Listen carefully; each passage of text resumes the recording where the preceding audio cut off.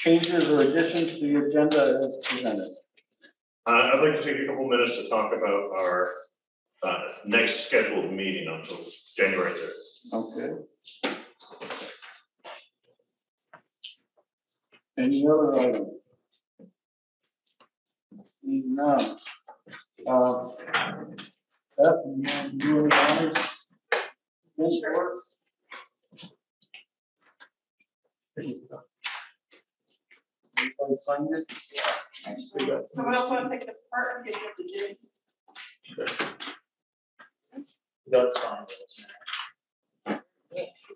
Okay, um, first invoice. Alliance Mechanical, uh, building maintenance. Six hundred and forty-nine dollars. Um, Grosso Fuels, Grosso, I gonna pronounce it, I was pronounce it differently. Th- uh, three thousand nine hundred thirty-eight dollars and fifty-five cents. Uh, sorry, that's one invoice. A second invoice for one thousand one hundred seventy-six dollars and fifty-two cents. The sec, a third invoice. The first one is for the diesel tank, the second is for town storage. The mill house is six hundred and ten dollars and eight cents. The library, four hundred eighty-five dollars and twenty-three cents. Um, Johnson Town Garage, one thousand one hundred ninety-three dollars and twenty-nine cents, and Historical Society- Society, four hundred and thirty dollars and thirty-two cents, for a total of seven thousand eight hundred thirty-three dollars and ninety-nine cents. For fuel, was a heavy month.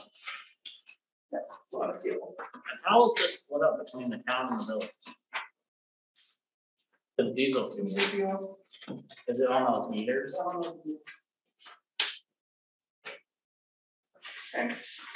Um, city cards, um, there was postage put on the card for six dollars and sixty-six cents. Evil postage, can't help it, right? Grant fund purchases for six hundred and ninety dollars and seventy cents.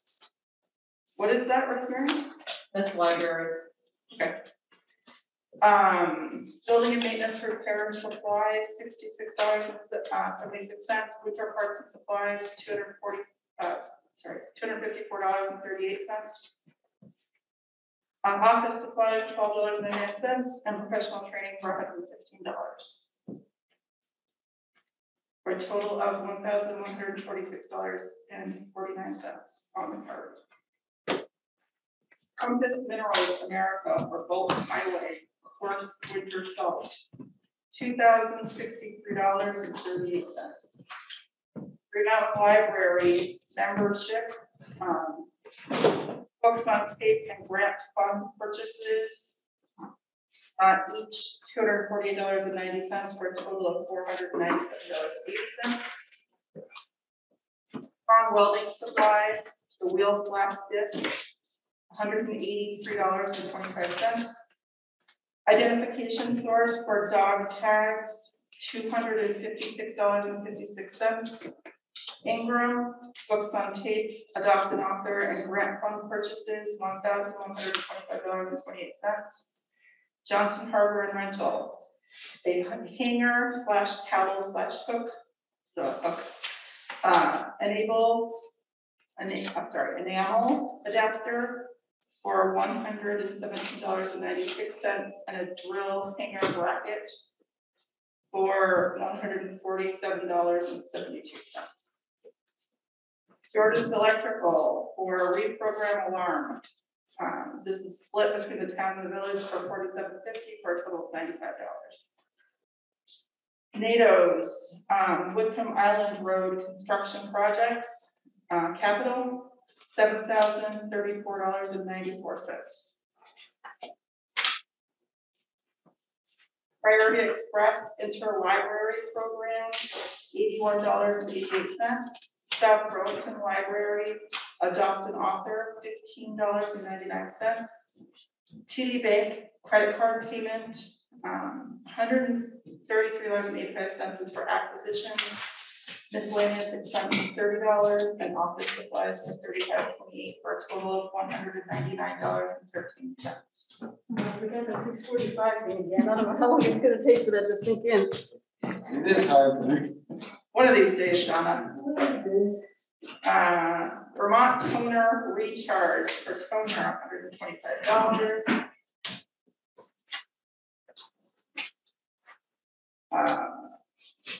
VLCT property insurance, eleven thousand dollars, five, sorry, eleven thousand five hundred fifty-six dollars and fifty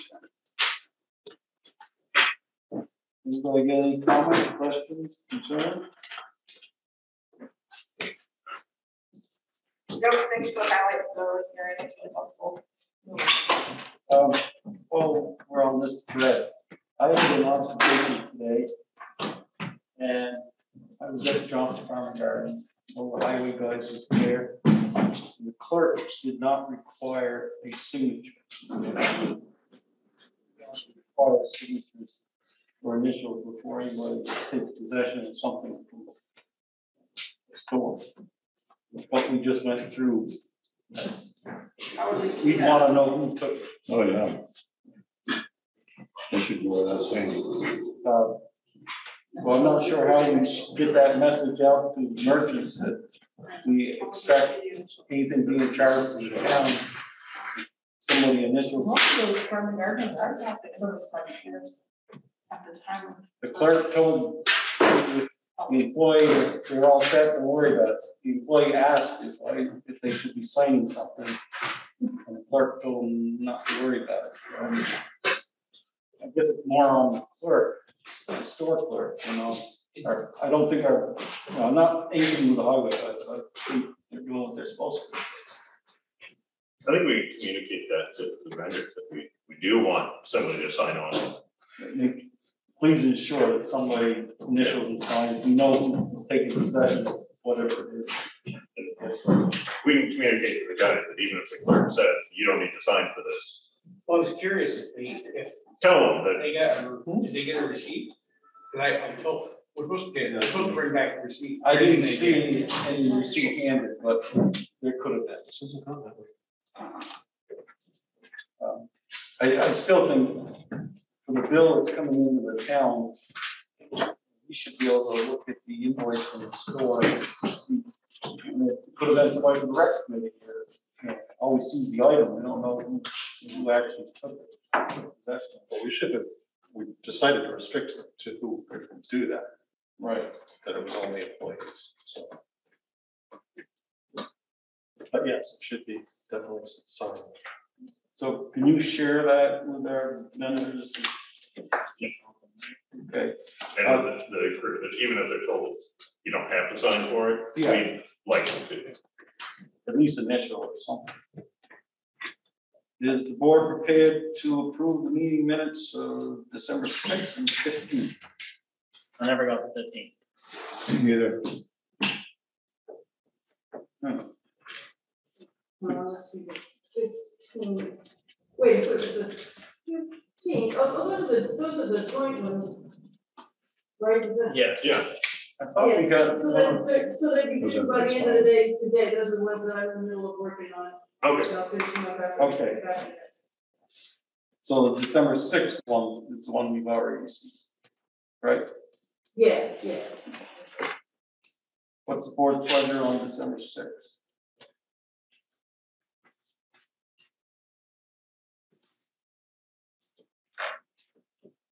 Motion to approve, uh, minutes presented for December sixth. Okay, we got a motion, we got a second. Motion second, any discussion? No, all those in favor, signify by saying aye. Aye. Opposed? Okay, you got the floor. hold on, what is progress report? We are spent forty-one percent of the budget for the first five months. Pretty much on track.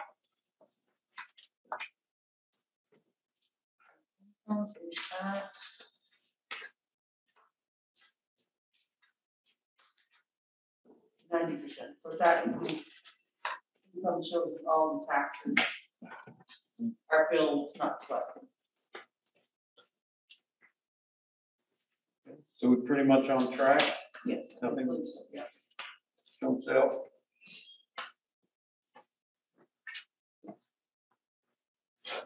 Sent you a report of people who are delinquent taxes for the last year. Uh, we have a grand total of twenty-seven thousand two hundred sixty-three dollars. That's still outstanding from last year. And we contacted Jim Barlow.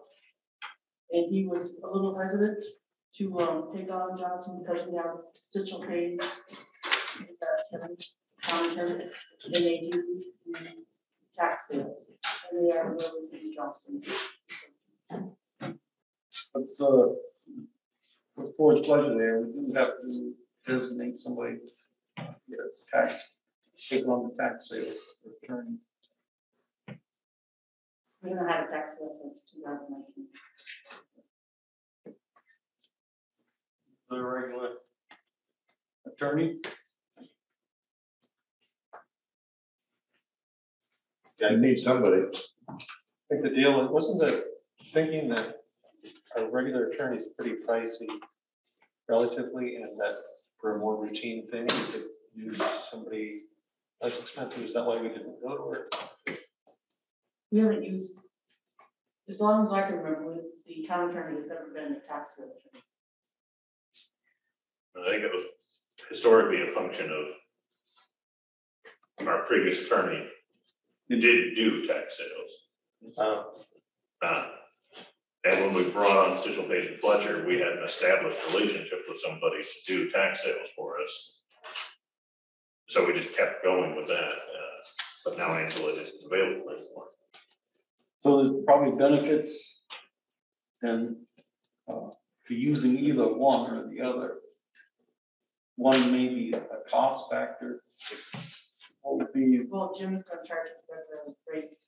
the same as, okay, so there may not be a savings.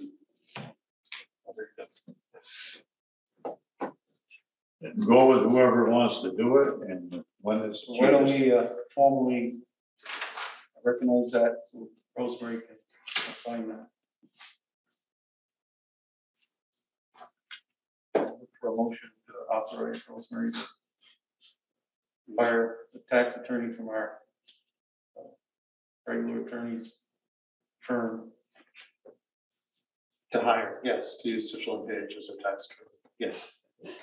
Motion. We have a Motion, we have a second, any more discussion? All those in favor, signify by saying aye. I, Aye. Opposed? Actually, Becky, before you vote on the motion, uh, it's not Stitzel and Page, it's Stitzel Page and Fletcher. Mitchell Page and Fletcher, thank you. Why I never say it, I never remember it. I, I think we're safe on, we know what we mean, Yes. but Okay. Go ahead, Roger. The only other thing I have is holiday pay. And traditionally, we will do it town meeting, uh, holiday pay. Okay. Historically, we've given town employees a hundred dollars holiday pay, what's the board's pleasure? To approve one hundred dollar holiday pay for our employees.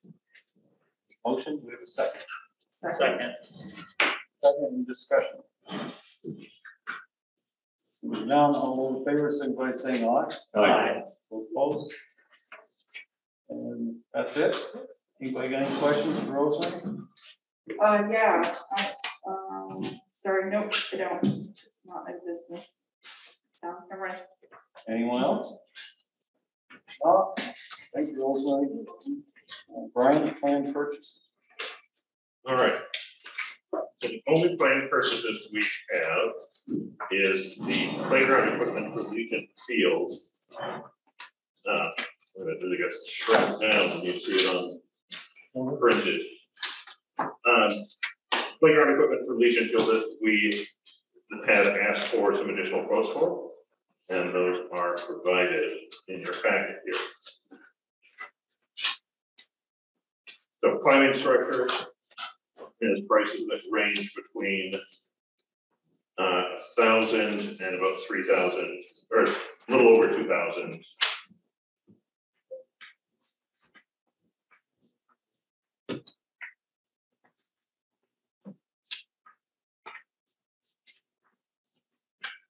And we're proposing to make the purchase of the cheapest unit uh, from S three stores.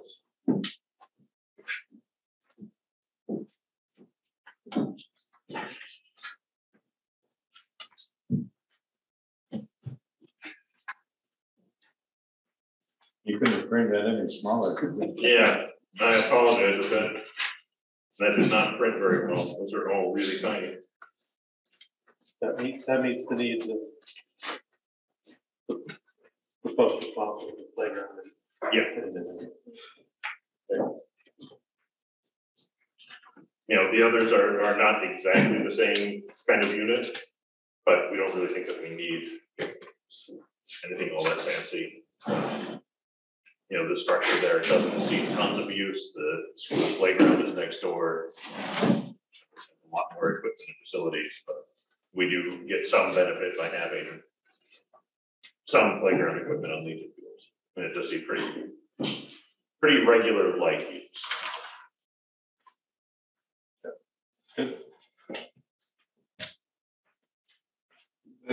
Got any concerns or issues? Is that all the planned purchases? If we're working on uh, tire chains for the uh, grader, but we don't have the quote for them yet. Um, You know, we've asked, we've asked a couple times for it now, and it- we haven't gotten the, the quote back yet. Buckle up, I bet that's pretty pricey. He gave us a rough quote of thirteen hundred, but he was looking and trying to find a vendor that had mini in stock. Okay. Is that it, Brian? Yep, that's it. Okay, Jason, you got the floor. Uh, no. Took care of the thirty-three trees on the hospital and so. You say thirty-three? Yeah. Wow, Yeah, we've been doing winter maintenance and fall maintenance, all in the same thing. Big week. Uh, and, uh, we redid the floor in the break room. And, uh, Speak up, will you, Jason? uh, we redid the floor in the break room. And then we've been working on the SDS sheets and stuff, I have, one of the other guys are working on the equipment. Stuff, safety side of it, product. What's in the shop parts, uh, chemicals and stuff. What does the SDS stand for again? uh, safety attitude. Do we uh utilize any of those trees to you know, act after communities or anything like that? And usually, if they're on the landowners, You give it to them. What's theirs? in the past, we picked them up and then some people have wanted them back. Yep. We just leave them. Once they want Just push them off the road right away. Sue Levering tells us that the emerald ash borer is in Belvidere now. So it's, it's coming. Plenty more trees. Keep your chainsaw saws Yeah. sharp. Oh, Okay. Jason, how's the uh salt truck working out? Uh, it, it's working out pretty good. It's gone out the last four or five times with no big issues. There's a little work thing working out. Uh, And running that uh, Sunday. Let's see how it works. You know, when it's getting springs or, As Soon as they get a spot open for us, because they have to order them in anyway, so. Just timing with everybody's so booked, trying to get things in. You probably haven't had a chance, I think we just talked about it late last week, but about uh, downsizing the hopper. I talked to Andy about that and he, uh, we've used it, so kind of, Okay. Are they honoring moving the applicator, sander, auger, to the actual center of the road? 'Cause they That's did. one thing I saw. yeah, they would honor, They're doing it. well, no, they, hon- they would honor moving it what they, what they, uh, vote to do, I guess, and it's about a foot and a half over. Uh, and I asked Andy if they'd credit our account. The five, because he said it was a five hundred fifty dollar option. So they're gonna give us credit on the account, and we just got the stainless, because we welded over there. We already got the shoot, only we just gotta weld up a couple pieces, and it's gonna be moved over to the four feet where we wanted it. Here. What's the timing of that? Timing for the That's how we shoot, get moved over? well, we would have had it moved over, um, by now, but. So, uh, tomorrow, if it's gonna be good, we'll have it done tomorrow. I was just wondering, because it seems like it would save you time. It's, Yeah, well, let's see. safety, one of the two. Yeah, it'll save some money, you know, our salt usage, it won't be spreading on those lanes, so. Mark's been trying to run it, send out the road, when he can, with my car, so he doesn't have to salt the lane. The new employee on board yet? The twenty seventh, Yep, he starts the twenty seventh. He's coming in on Thursday to sign, you know, to finish up his, insurance and payroll and everything. Anything else? People, any further questions? Great, thank you. Uh, Honored with the presence of the esteemed legislators tonight. Uh, you're not up until eight o'clock, so if you need to run out and get a bite to eat or something, but you're more than welcome to stick around. we'll sit around. Uh, They just got here early, so they could thinking they could get out of here early, maybe. report from the Racial Justice Committee. Okay. We're a little bit early, are you? Yeah. Yeah, we're very early. Didn't expect that. Um, so we just have a couple things to report on, um, really one, one, I think. Um, at our last meeting, the RDC unanimously voted to cancel the written expression contest in its current iteration. We've had, um, kind of not, no advice on it. I think, we think it was a combination of that poor timing perhaps with the school year and the summer program not being what what it was expected to be, just a number of things, so we just wanted to let you know that we plan to revisit it at a later date, but as of now, we canceled the current iteration. Um, and let's see, um, it's kind of ties into the, the appointments too, but we, um, we don't have a formal recommendation for any of the, the appointees who have applied. Um, we were unable to review the candidates' letters um, prior to this meeting, so, um, I guess other than our previous recommendation for Jackie Stanton, um, we weren't able to make a formal recommendation for tonight's meeting. Um, and I think that's all as far as our reporting goes, um, because then we have, oh, no, then we, yeah, I'm sorry. And then we have our budget, which is the next thing, And I'll turn to Jeff for that. Yeah, cause I'm a nerd and I like spreadsheets. These So I did that role. Um, so we included in our packet, uh, just a very simple spreadsheet with a breakdown of what we're hoping to spend. Um, we're hoping to bring kind of a nice combination of, um, you know, educational stuff, you know, workshops, seminars, whatever term you wanna hang on it, but educational opportunities each year, as well as celebrations. Um, so we wanna build on the Juneteenth celebration, turn that into more of a community barbecue kind of situation, perhaps utilizing the, the pizza oven, things like that. Um, and so what we've done is essentially laid out what we think it'll cost to put each of those events on throughout the year. Uh, we're proposing to offset the cost of any trainings or seminars with grants. Um, and similar to the one that we, uh, won this year, uh, to pay for the upcoming, um, implicit bias trainings.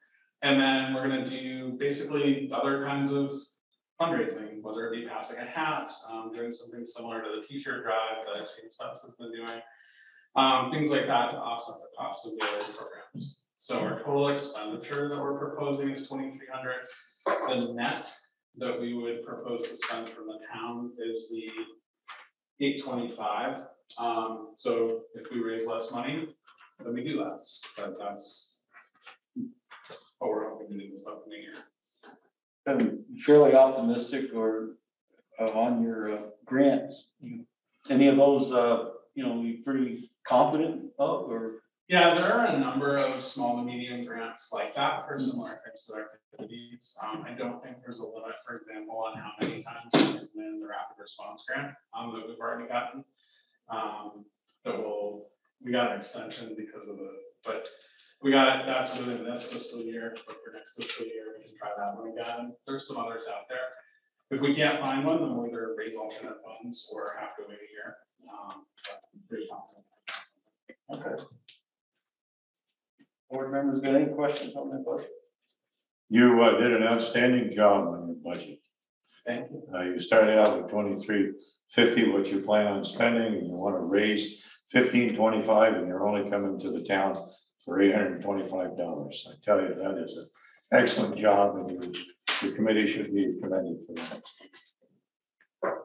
No said, Mike. Thank you. And we also provided a, a calendar outlook. I guess that's a tentatively planned. Yeah, it kind of lays out things that also don't cost money, so things that like what we've done this past year, public displays. Including flags that have flown on the green, um, and, and things like that, so it's just kind of a rough. Kind of idea of what a fiscal year would look like. Okay. Cool. Anything else? Any questions from board members? No, well, we are moving tonight. Well, thank you for coming in. Thank you. Nice job on that I guess, material. Brian, if you want to get into your report, you know, we can let Jason get out of here. Yeah, so first up on, on my report is, uh, proposed use of brine on municipal roads. Uh, so, That's trying to work up already. Yeah. So, uh, we believe that using brine with no additives on our roads is going to uh, significantly reduce the amount of runoff that we're contributing by reducing the total amount of salt. And, uh, when it's liquefied, the brine and the salt stick to the road where we place it. We'll end up with less salt bouncing off the road, ending up in the, the, uh, the ditches and, uh, watershed. Um, it's a cost saving measure, works at lower temperatures, so we don't have to spread as much of it in preparation for a storm event. Um, I think that's kind of the big ones, it's, it, will we'll use less salt and it'll cost less to the salt we use, the salt will be more effective. Uh, and we don't believe that it'll have a significant impact on residents' vehicles because we're not using an additive. Uh, you know, we think that that's a different property than uh, what we typically kind of associate with what the state's using. Any comment? Yeah. Wait, let's- Jason first. No, I want in, I want in, go ahead. Please, please, you? No, I was just gonna add on what Brian said, that technically all it is, is just salt and water brought up to twenty-three point three. As far as the. Levels. And it pretty much, I mean, it does, what we're gonna spread is what it does after it hits the snow anyway, where it starts making the water that you see running. All that is, what it is, it's just gonna wet that down so it doesn't bounce. and- And it's, uh, coming off that chute easier. And it gets applied together. Yeah, it sprays. It left, yeah, it's thirty percent of the salt. Far as what you get casted out, but it also uses less salt when you're doing it, you don't have to have as much salt to get it. When we put as much salt down that we do right now, we put it down so it starts that effect, that water, and starts activating it, now we won't have to have that to start the process, so that's what. That's why. I Okay, I know Nat's chomping at the bit. Well, that'll be. good. Uh, But no, it is, I went in and I talked to Jason about it, I was, I've been prepared to just be stubborn about this and say no. Um, but it's exactly the same chemical process that's happening with the brine process is what happens right now on our roads. It's just that they're churning a, they're making it into a, a liquid before they apply it to the roads.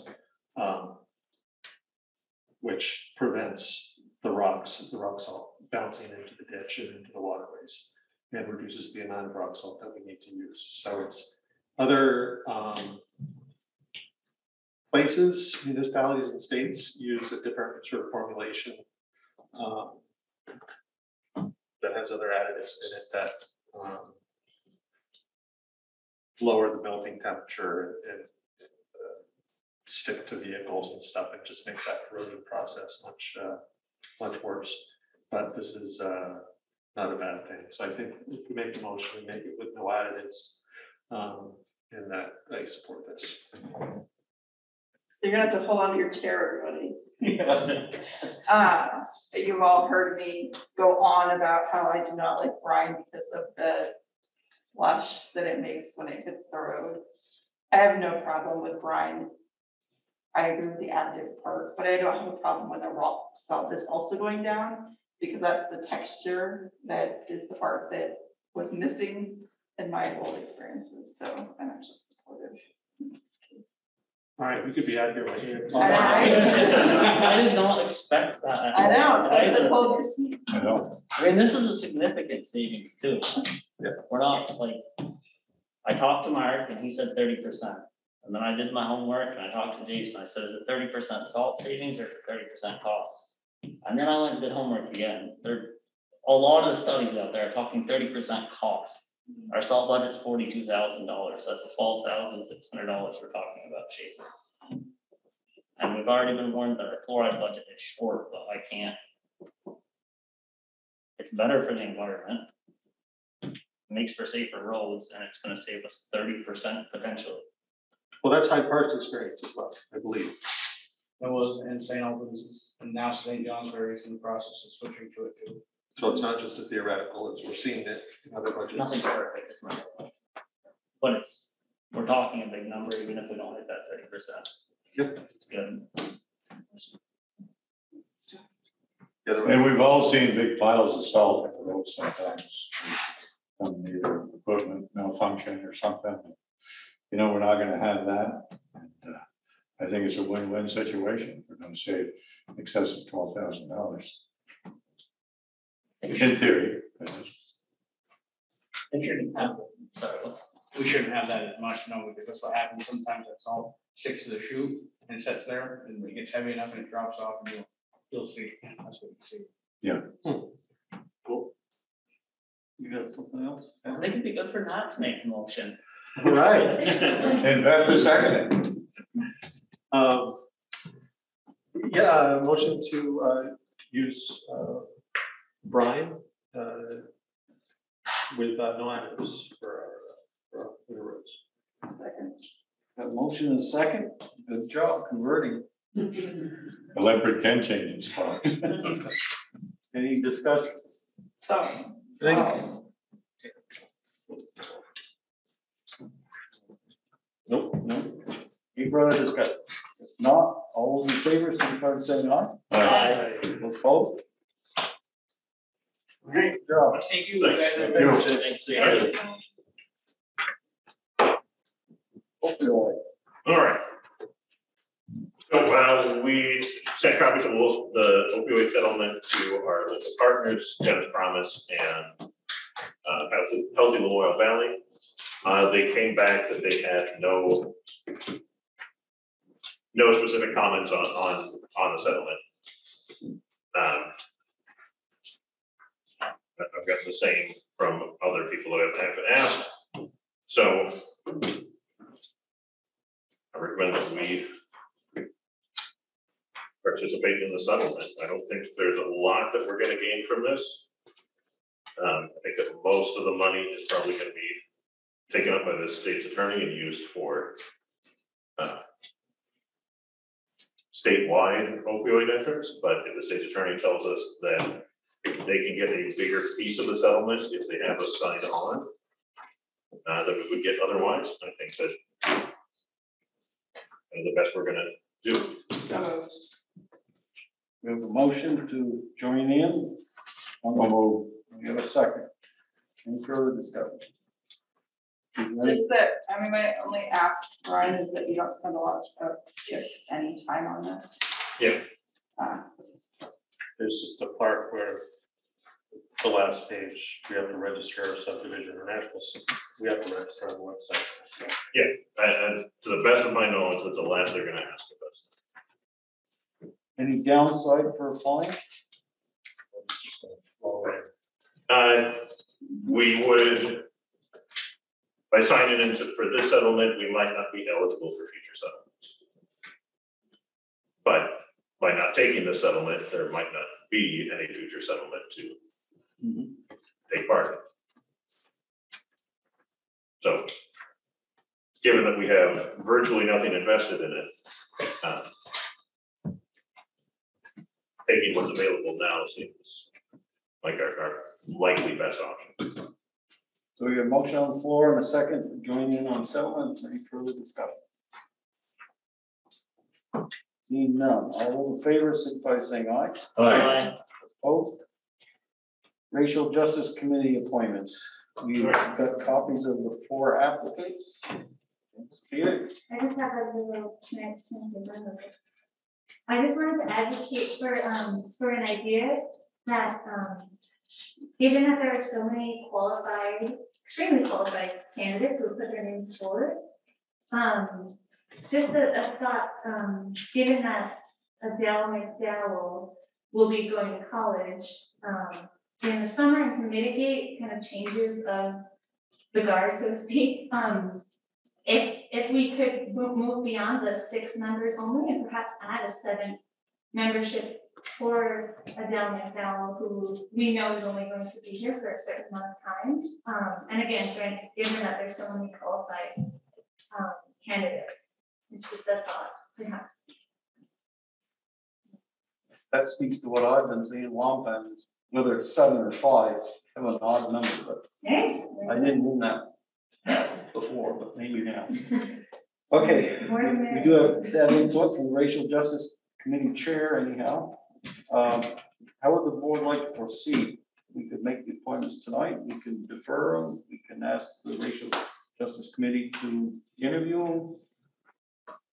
What is the board's pleasure? On that particular suggestion, if I may, um, Sophia, I, uh, I'd be persuaded by that, um, perhaps more if um, the committee was to come up with some ground rules.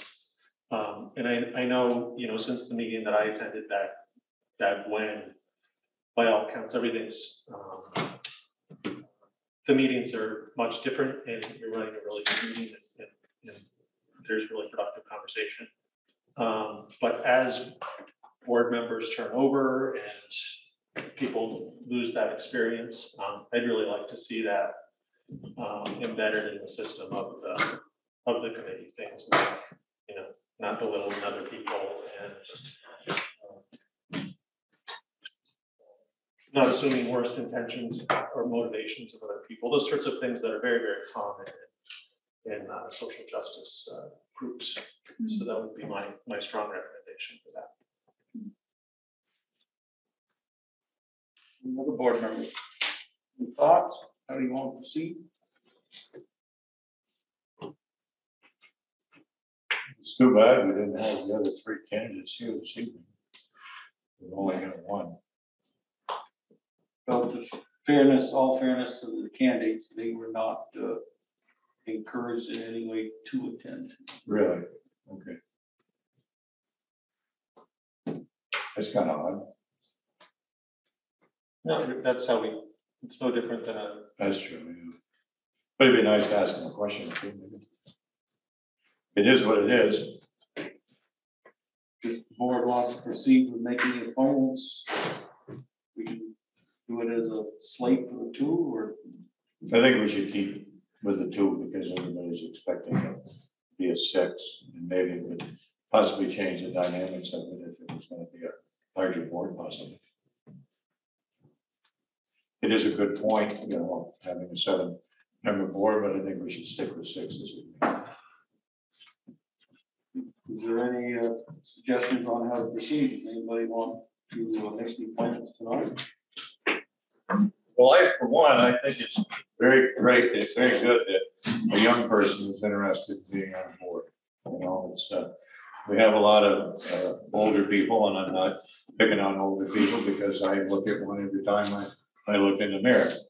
Uh, But, you know, it's good to see younger people interested in what goes on in the community. So I guess I could support Adele, McDowell, and James Spence.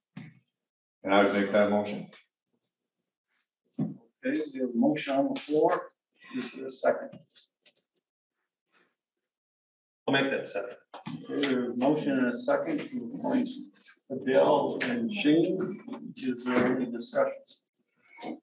Yeah, um, on, one thing about Shane is that he's on the planning commission. Um, and I, I, one thing that's interesting in this process is to look at, um, racial justice issues that are um, that other towns in Vermont are facing, um, especially even here in Lamoille County. And in Stowe, there's a really interesting thing happening right now, and it has to do with planning commissions and development review boards and, and, um, I think it's really insightful to kind of study what's going on there and to see what lessons we might be able to apply, um, locally, you know, here in Johnson. So I think that's a really great connection to and Shane's, you know, Shane's Shane. We should go on. Further comment? Um, yeah, I guess I just, I wanted to, um, I wondered if, if, if it would be possible for the committee to be able to at least, you know, be able to see the applicant letters prior to an appointment. I think it's, it's valid for the committee to be able to have discussion around, around appointments. Those letters were not shared with the committee? The letters were not shared in it in advance, no. Uh, Didn't we all receive those letters? We did see them before our December second meeting. We, they sent, they got sent, I think, Oh. December. So you have seen them? We have seen them at, at this point, but we haven't had a chance as a committee to discuss, that's all I mean. Okay. Yeah. Any further comment? Is the Board prepared to vote? Seeing any, all those in favor, signify by saying aye. Aye. Those opposed? The ayes have it, congratulations to Adele and Thank you. uh, Ken Alexander, welcome, sir, phase one. We, we do that, that's there. And if you want me to, um. So you see what we've expended so far, again, just to review, we have, uh. Approved expenditure up to forty-five thousand for this, uh, phase one, which is. Uh, which has been completed. Um, we have spent so far forty-two thousand seven hundred fifteen dollars and seven, and forty-nine cents. Um, and there's an invoice from Howard outstanding for um, lumber, a faucet, LWI rod that he paid for on his own, and a laborer that he paid on his own. uh, Well, his, his own labor. Um, So um, I'm resolute and, you know, I- I told you that I this would cost forty-five thousand dollars or less. Um, I, I, I want to stick to that. Um, The, so here's where we're at. I mean, we, we, I think these expenses of lumber, costs at LWI, welded rod, and labor are hard expenses that we need to pay out. Um, the thirty-six hundred dollars is, is Howard's labor that wasn't agreed to beforehand. Um, I know he worked real hard on it and, um, so he's asking for compensation after the fact, which um, that's what's before us now.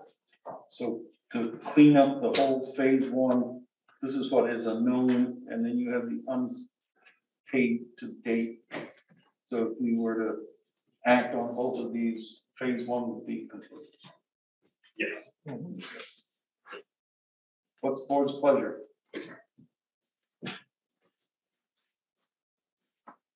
We have some unpaid.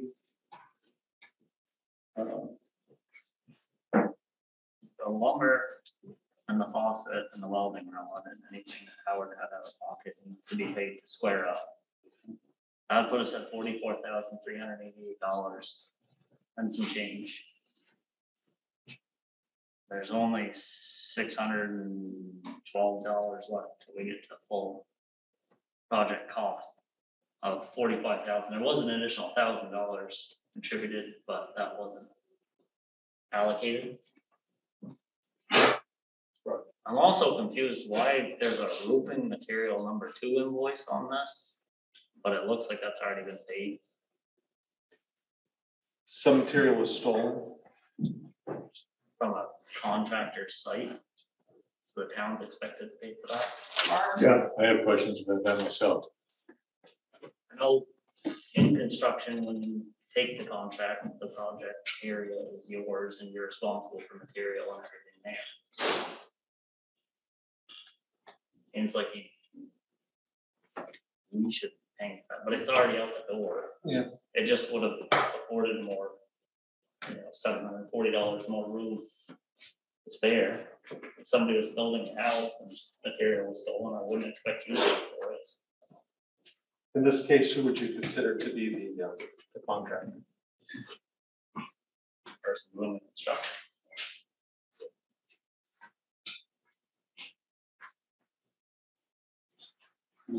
Would you consider us as the uh, main contractor, subcontractor? I wouldn't in this scenario, no. Like I said, it's already been spent, so we can't really. Maybe I'm beating a dead horse here. I motion to reimburse Howard for a lumber expense of one hundred dollars. Uh, as well as a faucet expense from Howard Romero for fifty-three dollars and eight cents. As well as sixty dollars, uh, from LWI for welded rod. Rod, um, as well as one thousand five hundred and sixty dollars. For the additional labor item. Okay, there's a motion on the floor. Is there a second? Second, Is there any discussion? If I can offer a little bit of clarity of conversation I had with Howard uh, the other day. um, It is, it is definitely true that Howard's labor was not included in the budget that was submitted to the board. Um, But the characterization that Howard is that this is a new expense or a new thing that Howard has added isn't exactly true either. Um, It was something that Howard had told us he expected to be paid for his work. uh, As a uh, site manager for, for the project, but it's also true that he didn't actually include that in the budget. So it's, So it was in none of the budgets that we were approving all Right. along, so there was. So it is an unapproved expense. Uh, but I I just wanted to help him a little bit with the characterization that it's not that he changed his mind or came up with it later, it's that it was omitted from the budget. So it, it is an unapproved expense. And Howard wrote the budget. Uh, But it, it was always, he had always intended that to be part of it, it just wasn't in what he presented and was voted on. There's a difference between intention and. Yep. Approval, and even like, I wasn't aware of that, I don't recall ever hearing of it. Um, on the board, I don't mean me, I mean the board. I mean, what's, what's the board's thoughts? We got We roughly want- speaking, six hundred and twelve dollars left until we meet full budget. Without being a cost to Five hundred dollars. Is it? Yeah, sorry. We could pay Howard that amount. That's all that's left. as I recall, he was asked early on if this was out of the goodness of his heart or it was gonna be on the clock and uh, never really got much of an answer, as I recall. So, I remember he, when he submitted the bill, we asked, if he come in and justify it. to the board. We, we didn't outright say we weren't gonna pay him, but he was supposed to come to the board and to plead his case. But we had also told him that we would only hear that after we had closed out every other expense for that. So, That was late in doing yeah, that was, After we got the, the invoice. Um, you know, I don't really remember if this was approved while I was in board, the whole project, so what I may said may not have been true, I just don't recall. You were not around early on when we were talking to him about this, so. More than that. So there is a motion on the floor. Close out everything that's presented unpaid with the exception of Howard's labor. More discussion. Do we need the motion, the remainder of the funds go into the phase two? We already have a mo- motion with a Oh. second on the floor. Yeah, I'm just asking, I guess, sorry, different discussion. Well, Let this first one go through. those, They're just gonna, those funds are earmarked for this project. So they will automatically go to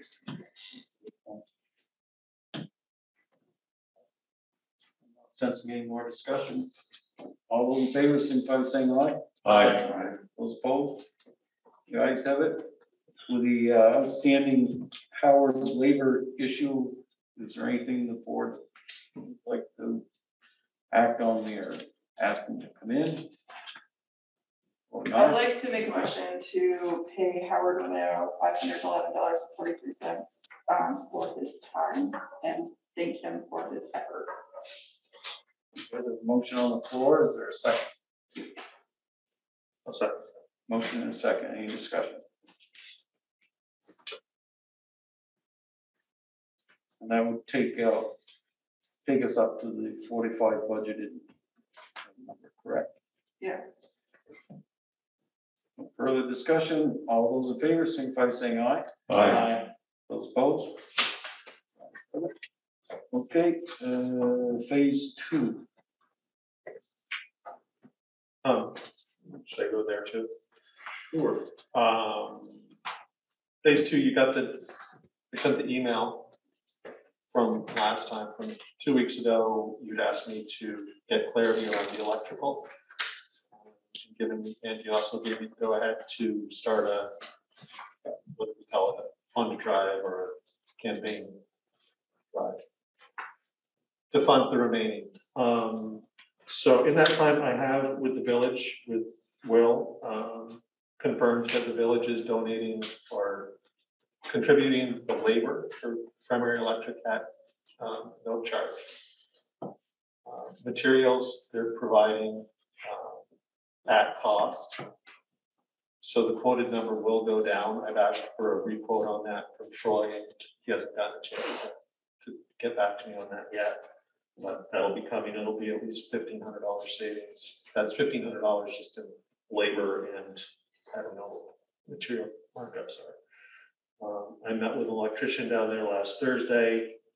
Um, talked about getting the secondary in, that's basically. uh, Sockets and lights. Um, And he said that he'd be getting a quote, uh, only by the end of this week, which. Um, it's holiday week, so we'll see how that goes, but, uh, that's where we're at. I also reached out to the Alexander family. Um, they're definitely in for the trompe l'oeil, for funding of the trompe l'oeil and potentially more, but they want some more detail. Um, he also wanted to get a little more, um, information on exactly what the current plan for the trompe l'oeil is. Um, But he's in for that, so that, that, those conversations are ongoing. I don't think I have anything for the board to act on tonight, but I wanted to give you that. Thank you. Ask for thank you very much. Any other questions for Pat? If not, uh, we really are very right along. Yeah, Yeah. keep going. All right, with the board's consent, I'd like to rearrange the agenda. There were some historical society that wanted to be here tonight, but I told them not to show up till eight thirty. Thanks for We'll jump slowing to your financial security. All right. let the legislators go. I was gonna say, they're all here. Until it's warm. Or they can wait the very end. If the board has been consent, okay, well, well, welcome you guys tonight, for coming out, thank you for coming out. Uh, this is something we just try to do every year, just have a little chat guys before the legislative session begins. What do you think's on the horizon for us? As well as tonight, we've invited president the college, to come down and to give us a little on what's going on up on the hill as well as you may want to hear what you guys are gonna do. Because sometimes what works for one of us works for both of us. And I think the college has always been recognized as a huge asset for this town. So we Want to make that a priority. So what do you want to say is happening in a couple of weeks?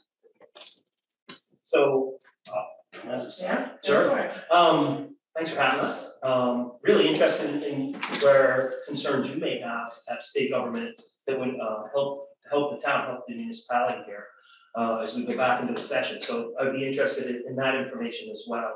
Um, hope we go back in person, um, still getting, you know, they're still trying to come up with how we're gonna be back. Um, so, you know, last year we were over Zoom the whole time.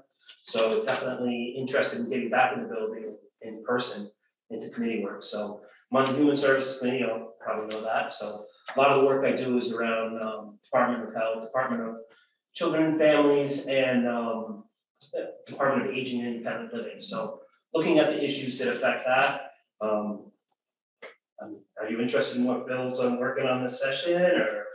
Um, you know, obviously around um, making sure the college is, is strong and, and adequately funded is, is definitely high on the priority list. That would not be in my committee work, but, um, you know, definitely any opportunity I get. Um, you know, I've had some recent discussions around what's gonna happen up at Green River Reservoir, so interested in, in making sure that we still have, um, skate park there as well as power generation. You know, how do we find that balance around the- the licensing that's going on right now? Um, as far as some legislation, uh, working on some Medicaid savings stuff, so helping, uh, older Vermonters who kind of fall into this donut hole of, uh, eligibility for health insurance. Um, right now, um, it's really low, um, it's hundred percent of poverty, so looking at, um, raising that up a little bit, it's something that's gonna be a recommendation to Green Mountain Care Board and, um, just trying to figure out how to help older Vermonters have access to healthcare so that they don't end up, um, you know, and up at the co- up at Copley Hospital with no money or, um, so anyways, um, yeah, uh, two bills that, uh, I worked on last session that are in the Senate, that passed the House, were the Office of the Child Advocate, which looks at youth in state custody and making sure we have systems in place so that they have, um,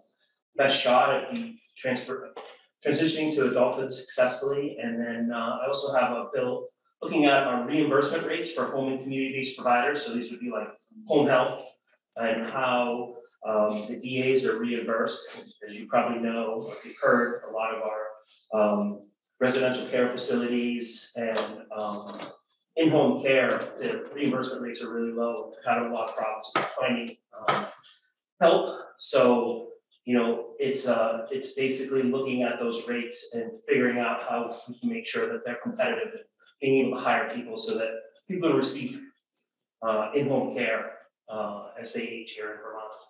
So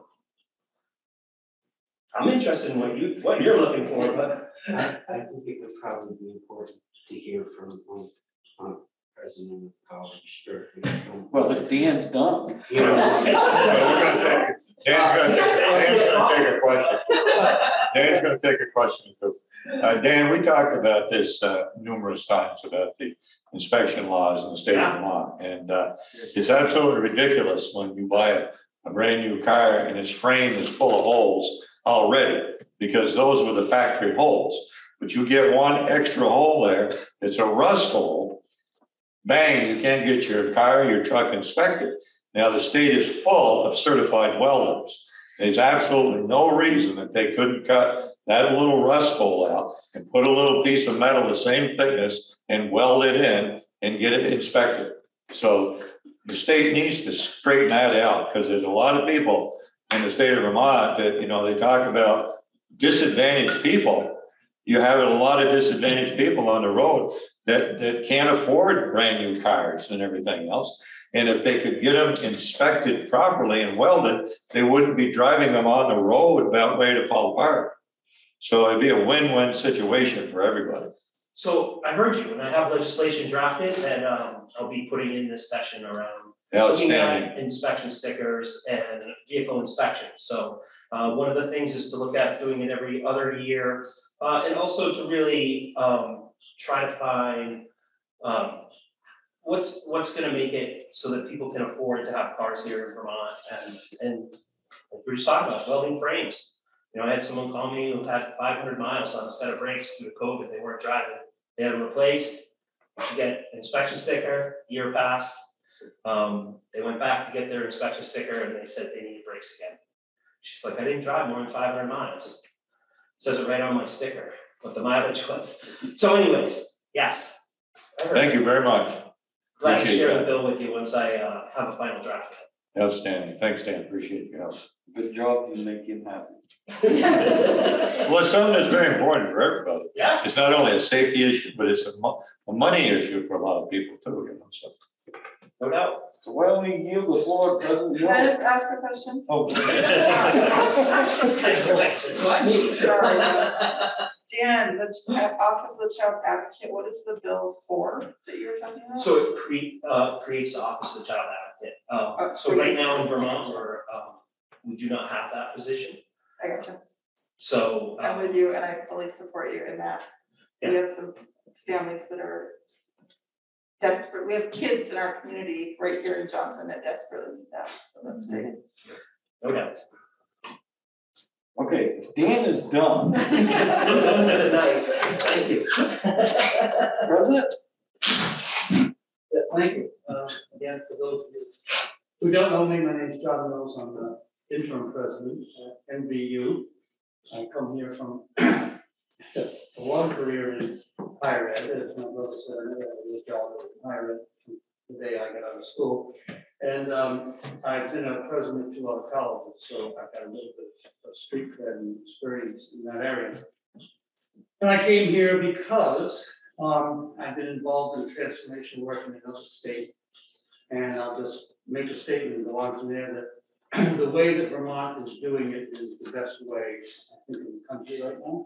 It's gonna have a lot of bumps and bruises along the way, but it is the best way for this to be done because it's involving everybody in the community of the institution. And we've got over eighty-five faculty, for example, involved in transformation work, doing that work on their extra time. And that just gives you an example of um, the, what's going on across the state at all the institutions.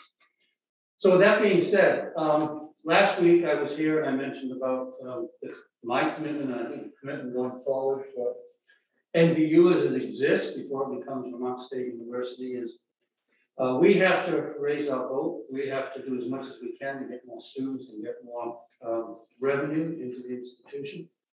And that can only uh, be successful if we raise all the votes around us. So as I mentioned at the meeting, I'm fully engaged in working with this community as much as possible to advance some of the um, economic and development aspects of the area.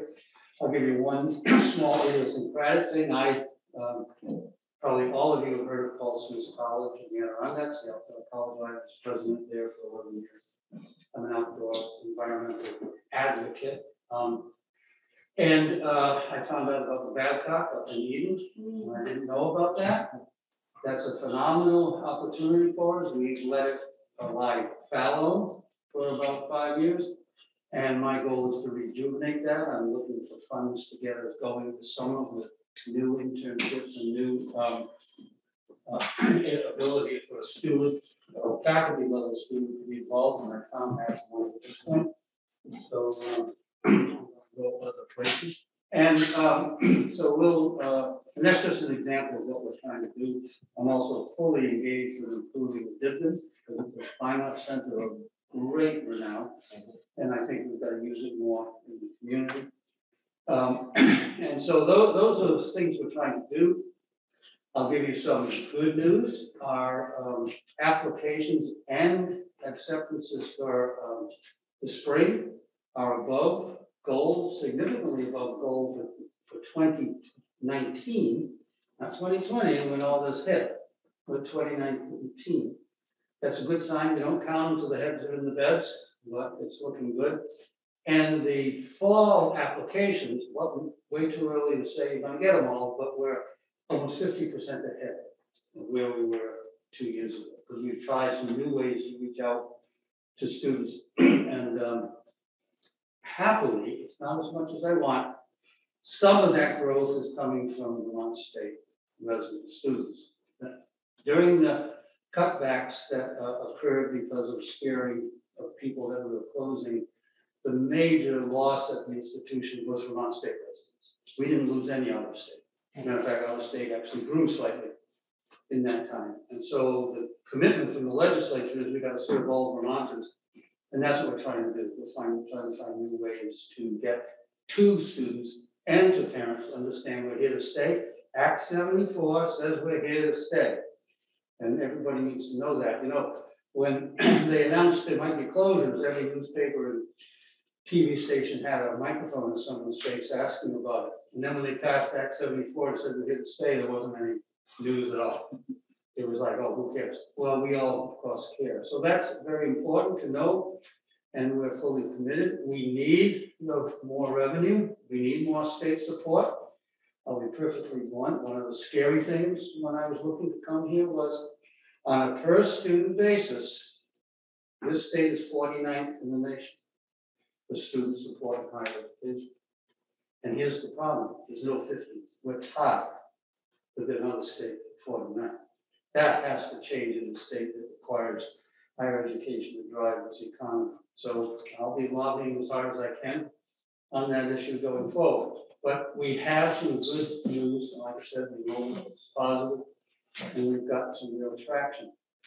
The VSU uh, transformation, which won't be complete until July of twenty-three, um, is going along. It's very, very difficult. I'll just give you one nightmare example. You've got NVU, Castleton, Vermont Tech, and not one school has the same calendar.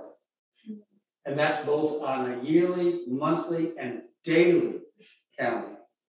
It's unbelievable nightmare.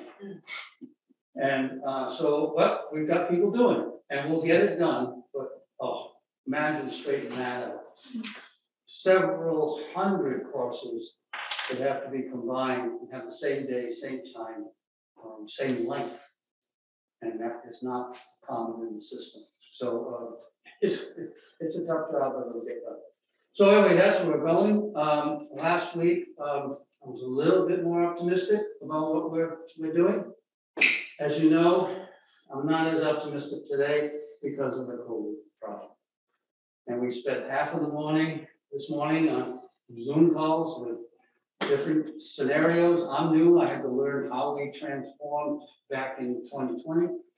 Um, and tomorrow morning, there's a big meeting with the, um, Department of Health to get their input. uh, Both, all of the uh, state and independent colleges are meeting with Vermont Health tomorrow morning to find out what their guidance is and where we're going. It's an extremely delicate and difficult situation. If you would see the newspaper, you'd see who's already shutting down, who's going to delayed openings. And a delayed opening or any reduction in what we did for the last uh, semesters is an economic blow to where we're located. And we just want to try to find ways to get around it, but it's scary right now and and what could happen. So um, it's a challenge and as you know, the outbreaks, the spread comes when people go home. So we had a burst of infections after Thanksgiving. We had an October break, a burst of infections.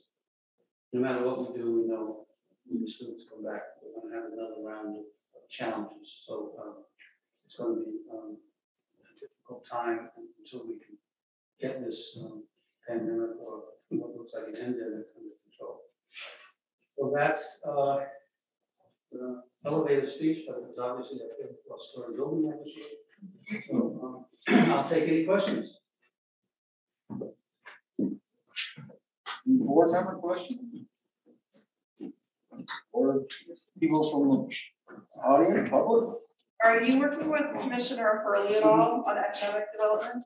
No, I'm not. You're not, you don't know of anyone at the school? You don't know of anyone within the state system working with? I, I, again, in the chancellor's office, I wouldn't know. uh, Okay. Maybe, um, but, um, I am not. I don't know anybody under My direction. Yes, okay. Hi, I, it's just two parts, but I'm really glad to hear you talk about that, talk about outdoor red. I'm really glad that the parents, a lot of my friends, that the, uh, focus of outdoor red has really gone to within.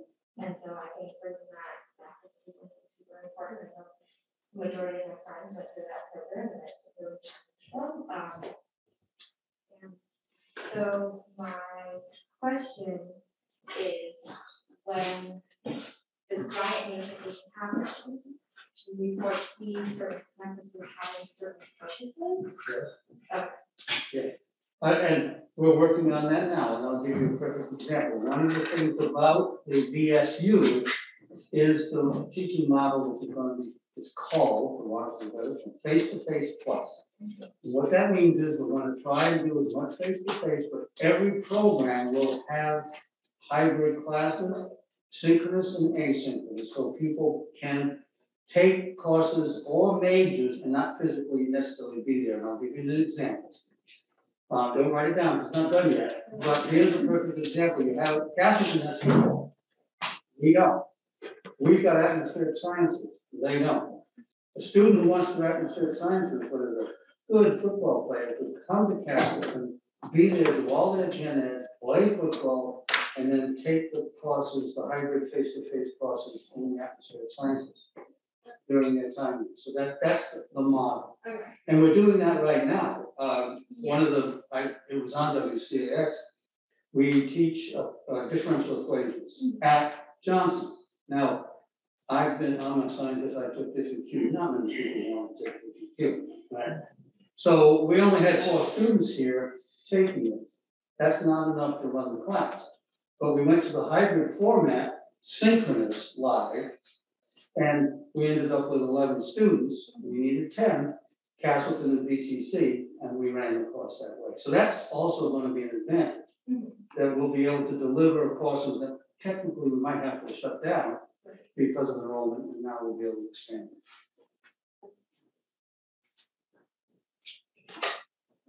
Sure, we'll get back to you, Bill. Uh, why don't I give Kate and Richie an opportunity to say a few words? Sure, um, I'll just quickly, I had a quick, I'm Kate Donnally, the state reps for this area, and I'm just curious, um, since you're here. In addition to, um, you know, obviously just more funding, is there anything in particular that would be helpful for us to know going, going back into session that would be helpful for you all in, in what you're doing? Well, those critical needs scholarships were phenomenal. And we need them again. Because they were dry up. And we filled up our mental health counseling program overnight when you allowed that uh, scholarship to go into effect for that graduate program. And of course, we need it for nurses. There's still not enough money uh, for the nurses. And the other thing that has to be done on those healthcare programs is find ways to get clinical sites. Because we could have more nurses in training, but we can't. We have the capacity to deliver the basic program, but we don't have places to put it because of the accreditation. So we need more clinical sites. Um, and, and so that's a challenge, and we need, the, the other challenge, um, which uh, is just national. I don't wanna interrupt you, but, you know, we tried from the legislature to put money into nursing. And we, um, we've been, um, and the state colleges have been slow to get off the mark on, on nursing programs, and they've been extremely slow. Now, what do you mean by slow to get up? Well, you're new here. And, um, we put money, uh, five years ago, we put money three years ago into trying to, um, develop the nursing programs, and there aren't enough people out there teaching. And the state colleges have been slow to come to the legislature and ask with a real plan to put together for nursing programs. That's one.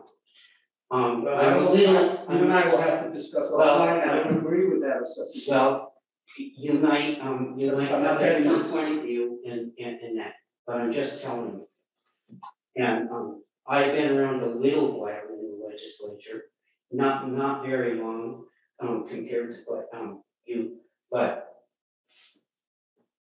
You know, you, haven't come up with plans that are concrete for the legislature to fund to do that. You are very correct when you say that, um, we have been low in our per pupil, um, contribution to the state college system. But over the last two years, we put well over a hundred million to bail the state college system out. And the state college system has to be relevant. And a piece of that uh, you have to be able to move and give us concrete things to do in the legislature to fund. Well, I, this could go on all night, because I think you can hear the concrete things. And bailing out is because the legislature allowed holes to develop beyond normal. I, I, can't- um, I don't disagree with you. Uh, but, um, the last two years during COVID, we've um, very supportive of the state college I system. don't deny that, but it doesn't even make up for ten years of. Well, well, we could have, we could talk about that, um, a lot. More than that. I think there's gonna be Yeah, it's- opportunities for you guys to talk. Well, I, I, I'd like to talk to them and I'd like to hear what they've got to say. And it's nice to meet you. Same here. Rich is on appropriations, in case you guess. Um, I would just like to say one thing about the programs that you guys are talking about, the critical needs scholarships, is my daughter is a twenty twenty graduate and has, not because she wouldn't have the financial support, but the scholarships that are out there that are supporting her taking classes that help her with her daycare, which is one of our critical need areas, she's all over taking those classes. And this is not a motive, this is, my daughter is not a heavy motivated, get your education kind of kid. Um, but she's jumping on them, and that's really a big deal, because I'm not so sure she would be if those weren't out there. Um, so I, that critical need, those critical need areas, we should keep funding them because they're being used. Thank you. That's, that's just the kind of feedback we mm-hmm. need. So Kate and Richard, do you guys wanna, Can, maybe Reagan has a, she just raised her hand? I just wanted to comment on that, that I know there's a lack of teachers. And I have recently had two coworkers receive their teaching certificates and are working to receive their teaching licenses because of that. Um, something that they would otherwise not at all been able to do, because they're working moms that work in education and we don't make a lot, we're in it for the kids, we don't make a lot of money. So without the scholarship, we nobody would have done anything. thank you. Okay, one, Thanks for, thanks for taking the time to answer that question. Um, I'm happy to go, is that right? Um. Yeah, so, um, yeah, when I'm thinking about the upcoming session, I guess I've been sort of stepping back and, and kind of looking at it, um, from bird's eye view, and I, I think it's gonna be a really intense one. And I know I'm new to this, but I feel like we've got pensions, we've got we've got the uh, reapportionment. Um, we've got, um. So Prop five, we've got, um, a lot going on in terms of like looking at like healthcare. Um, we've got more of the childcare bill, I mean, I think there's just a lot of issues in just about every committee I can think of has something coming through that is is big and charged and um is really activating to a lot of people in our state on, on all sides of the political spectrum. Um, so, you know, being here in the community, and I, appreciate you guys inviting us here, um, I guess what's been on my mind is, you know, and this is, you maybe the social worker and just wanting to sort of put this out into the air of we're gonna be having a lot of really hard conversations over the next six months. Um, and, you know, that, some of that takes place in Montpelier, but we're here representing our communities and um, so I just keep thinking about, you know, how do we how do we navigate these times together? How do we have these really hard conversations on a wide variety of issues and, and figure out how to move forward as a community? Um, and that's yet to be seen. But um, from where I sit, I'm here and available. People want to connect. Um, always open to hearing people's perspectives. Um, on the Judiciary Committee, um, I don't actually we haven't been meeting, some, some committees meet, like, you know, and we haven't. Um, so I'm not, uh, super abreast of, of some of the bills that are be coming right out. I know that one that carried over from last year that's particularly, well, became politically complicated, um, and is likely to remain that way, is, uh, looking at expungements. Um, and uh, I think it will likely be referred to as uh, sealing is what we will be looking at, but expungements or sealing, whatever you want to call it. Um, I think that's going to be one of the, the bills coming out um, initially. Um, I think I'll, I'll pause there for now. I can't think of anything at the moment. Um, but as Dan said, also, I'm just really curious to hear from you guys if there's anything. I feel like I'm just sort of in listening mode right now and want to hear what you guys have on the top of your minds. Thank you. I missed some of your words. You said stealing? Sealing. Sealing. So Oh, there's, okay. there's. Oh, sort sealing. Sealing. That's S E A L. Yeah. S E A. I thought you said something about stealing, you know, Oh, with your yeah. mask on and I, I don't have my hearing aids in. uh, Yeah, yeah, so yeah. Tell you stealing. Yeah, so essentially, and I'll just do a super brief explanation, expungement as it currently exists eliminates a person's record entirely. It vanishes, there's no, it's gone. No one can access it ever again. Sealing, the record exists, but it is restricted in terms of who can have access to it. Right now, law enforcement, if you have a record that's sealed, it might not pop up on a uh, job application, but law enforcement can still access it, which we know can create complications for equity reasons, many other issues. There's a push to move towards sealing so that the record doesn't get eliminated. It still exists, whether some people advocate for it so that it can be accessed for research purposes.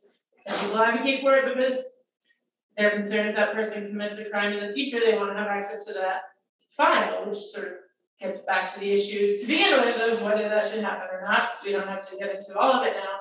But essentially, it's moving more in a direction of sealing as opposed to expungement.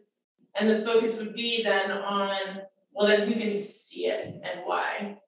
Um, but it feels like moving in that direction, some people feel creates more of an opportunity for compromise and coming together around a policy that could work for folks involved. I agree with you. Some kid, uh, you know, his first year of college, he might get kicked out of a dorm and try to get back in, and then he's arrested for trespass or something, and then it follows him around the rest of his life. I mean, something like that should be totally taken away, as far as I'm concerned. But how does it, how does it, they do it? Because usually, once it's in some database somewhere, it's almost impossible to get rid of it. So. These are some of the questions they're having, is looking at, you know, administratively even, what's involved and what's simpler so that it's not taxing our systems from an administrative perspective. Is there a Yep, specific type of record that you're looking at, or is this across the board all documents? Um, there's really specific, uh, crimes. I would have to look at, I mean, it, it's pretty wonky. Um, so it would have to be, as, as the policy was written, like a certain amount of time would have to pass, it's like a significant period of time. I think it was ten years or more, I can't remember, without a reoccurrence of, of crime. Um, and it was very specific crimes, so this is another reason that some advocates feel like moving towards ceiling could be an improvement, cause some feel like then they might actually be willing to expand the list of crimes that would be folded in, whereas with expungement, there's not much of an appetite currently to um include some of the more expensive crimes. Okay, well, we let Richie have a chance to tell us what his plans are. Yeah, I'm gonna say, follow, um, a lot of what, um. Kate just talked about, um, I'm not hopeful that this year's gonna be a year where we're gonna deal with a lot of, um, um. Structural problems within state government, um, particularly from the Senate, and I'm looking at. Um, in the Senate, three congressional candidates um, at least a couple of people thinking of running for lieutenant governor. I think it's gonna cloud us to get, um, um, work done on, and, you know, being an election year, on, um, the retirement issues, because the retirement issues are really, um, um, the looming issue that's out there that will cripple us if we can't, deal with those retirement issues. Um, that, you know, we, the problem is so huge. And the longer we wait to come up with really hard um answers to this, the harder it's gonna be. Um, I think that there are um fundamentally, people are living longer. And state um state employees and teachers are living longer. The average teacher now um lives into their late eighties. And female teachers are now living to nearly ninety. And males are are about eighty-eight. And they never built a system that expected people to do that. And we have to sit down and we have to come to grips with what the, um, what the issues are. And it's gonna take give and take across the board. Um, from state employees and, but there's gonna have to be a lot of revenue go in. Uh, and teachers, it, we're gonna have, there's gonna have to be a lot of give and take. And I'm not sure in a place where there's this turmoil going around with people running statewide and all of it. That we're gonna be able to buckle down and find the real answers to things like the um retirement um plan problem. My number one issue is um is I think the number one issue that this community has said for the last two years, particularly the last two years, and you could see it when we had the protests on the street when um the state college board um talked about closing campuses.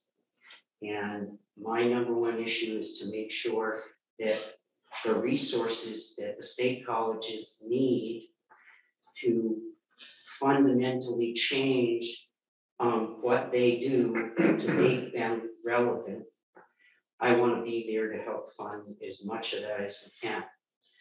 Um our underlying um single appropriation for per student is low.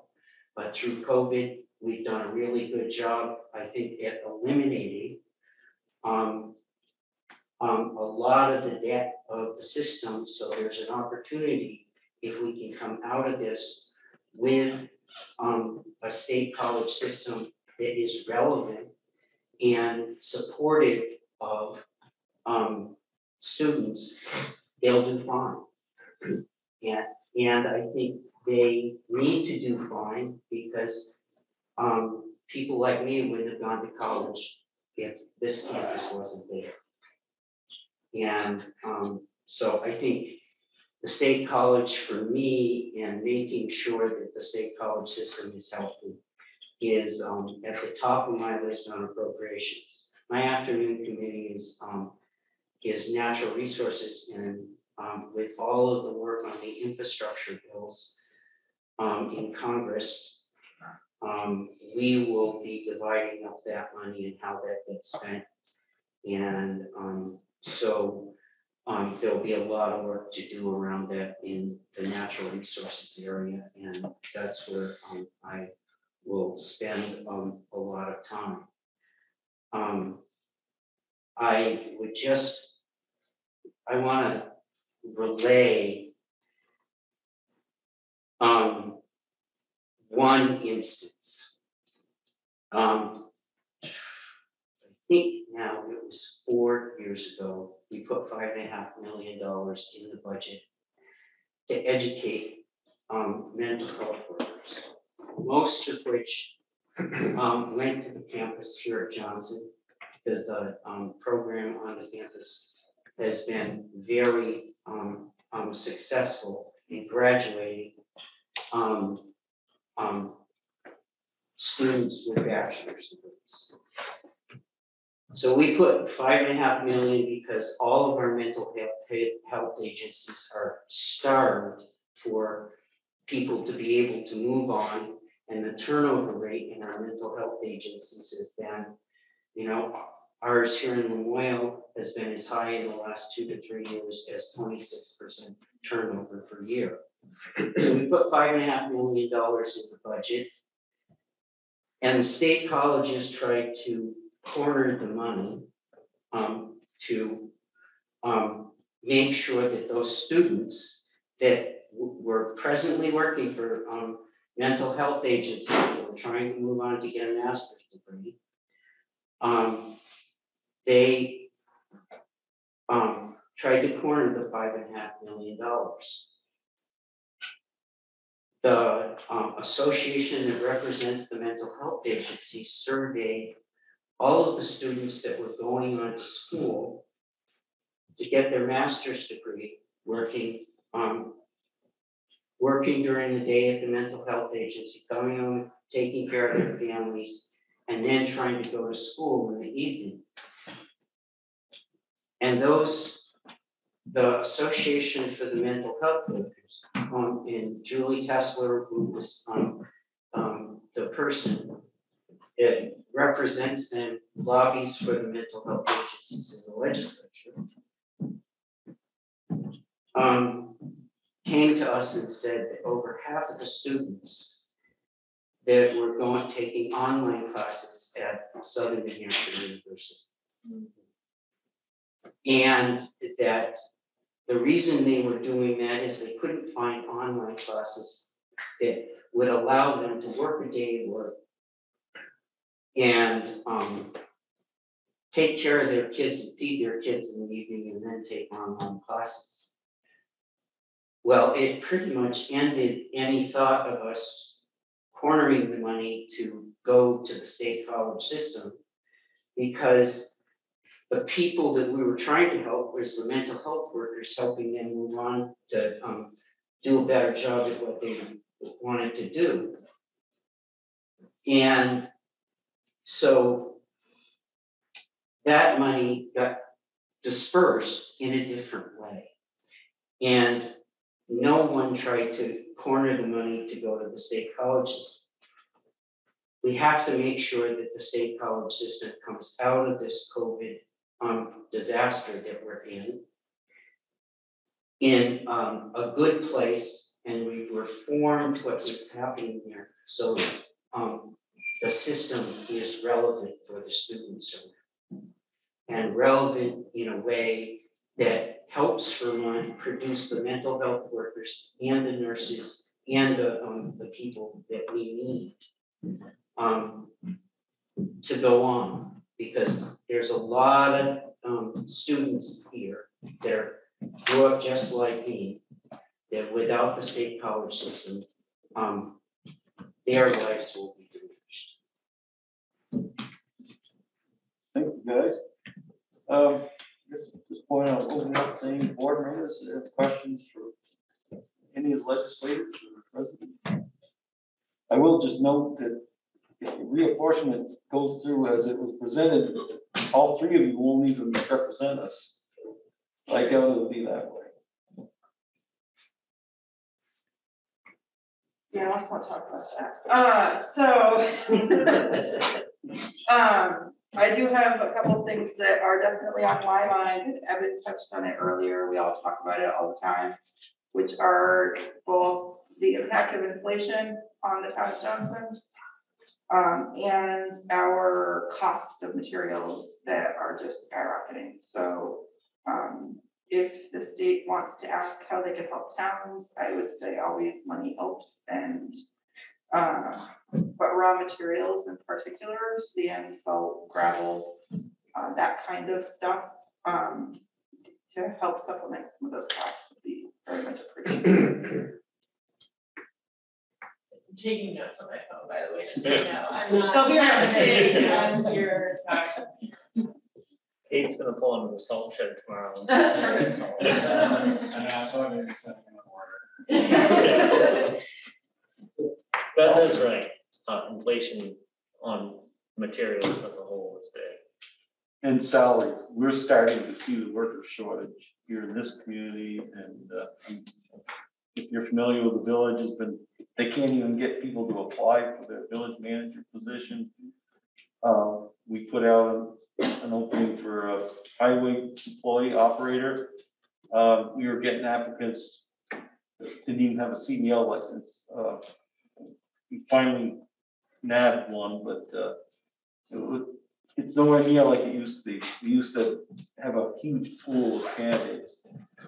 On top of what we're now paying, is we had to give significant increases. We lost an employee who went to one of the local oil companies delivering oil for five dollars an hour more than what we're paying. And, you know, the town is, is not the highest paying place, but we're generous and we have good benefits. And that has always served us well, but we're in uncharted uh, waters right now. But something I wanted to just throw out at you for what your thoughts are, is our voters requested uh, of us at town meeting, and we're gonna anticipate have it for this town meeting on uh, leaving the school merger. And Stowe just recently went through that, and all of the other towns now have, have authorized Stowe to leave. What are your thoughts on that? Is it a worthwhile venture? Can I ask a question? Go ahead. Folks who have brought that to your attention, has there been any like articulation of, of why, like what would, what are they looking for? A member of the town stood up at one of our town meetings and, uh, well, two years ago, regular town meeting. And they made the case before the voters on why being merged did not make sense. We didn't save the money that it was touted that we would save. Um, and what the benefits would be of going back to separated from the unified district. And a, a vote of the voters asked that, uh, we bring that back a- in a formal vote. How that vote will go, I have no clue, but, uh, it was a request of the voters at town meeting day to bring this back, and so our intent is to bring it back. I think there's a, a general feeling that there's not a lot of, um, that our town doesn't have an awful lot of voice in the school district. Um, I felt that in particular when, um, a few years back, the school decided that they weren't gonna, that we merged, and then the unified school board and district decided that they, that our facility, our, our local school facility wasn't gonna be open on weekends, which left us quite a lurch, and enough people spoke up and screamed about it that that changed pretty quickly, so I guess that, maybe that negates my point that we don't have a lot of voice, because they did respond, but just that that would happen was pretty scary and, um, disruptive. I think there's a general, a general sense that we don't have a lot of voice in that, in that large um, school board. resentment too, when Johnson, I believe we had a half a million dollars in building fund. And then when it was unified, it went to Hyde Park. You know, uh, you take a, a local government that watches their pennies and then they expect to be rewarded for their efforts and then all of a sudden it is taken away from them and given to somebody else, you know? Well, I was on the board when all this happened and the money actually went to a reserve fund that was only allowed for um building purposes. So it was um kept with Johnson. It could only be used, it had to be, had to be used within five years, I actually believe it was.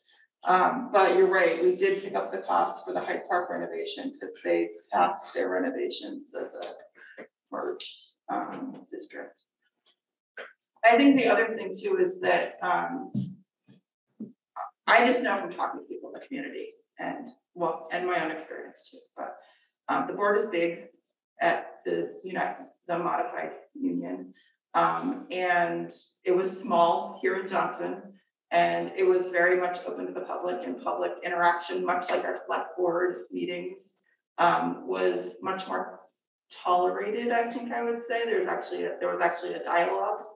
Um, and I think that's definitely missing, and I think that's part of the transparency and the feeling of disconnection.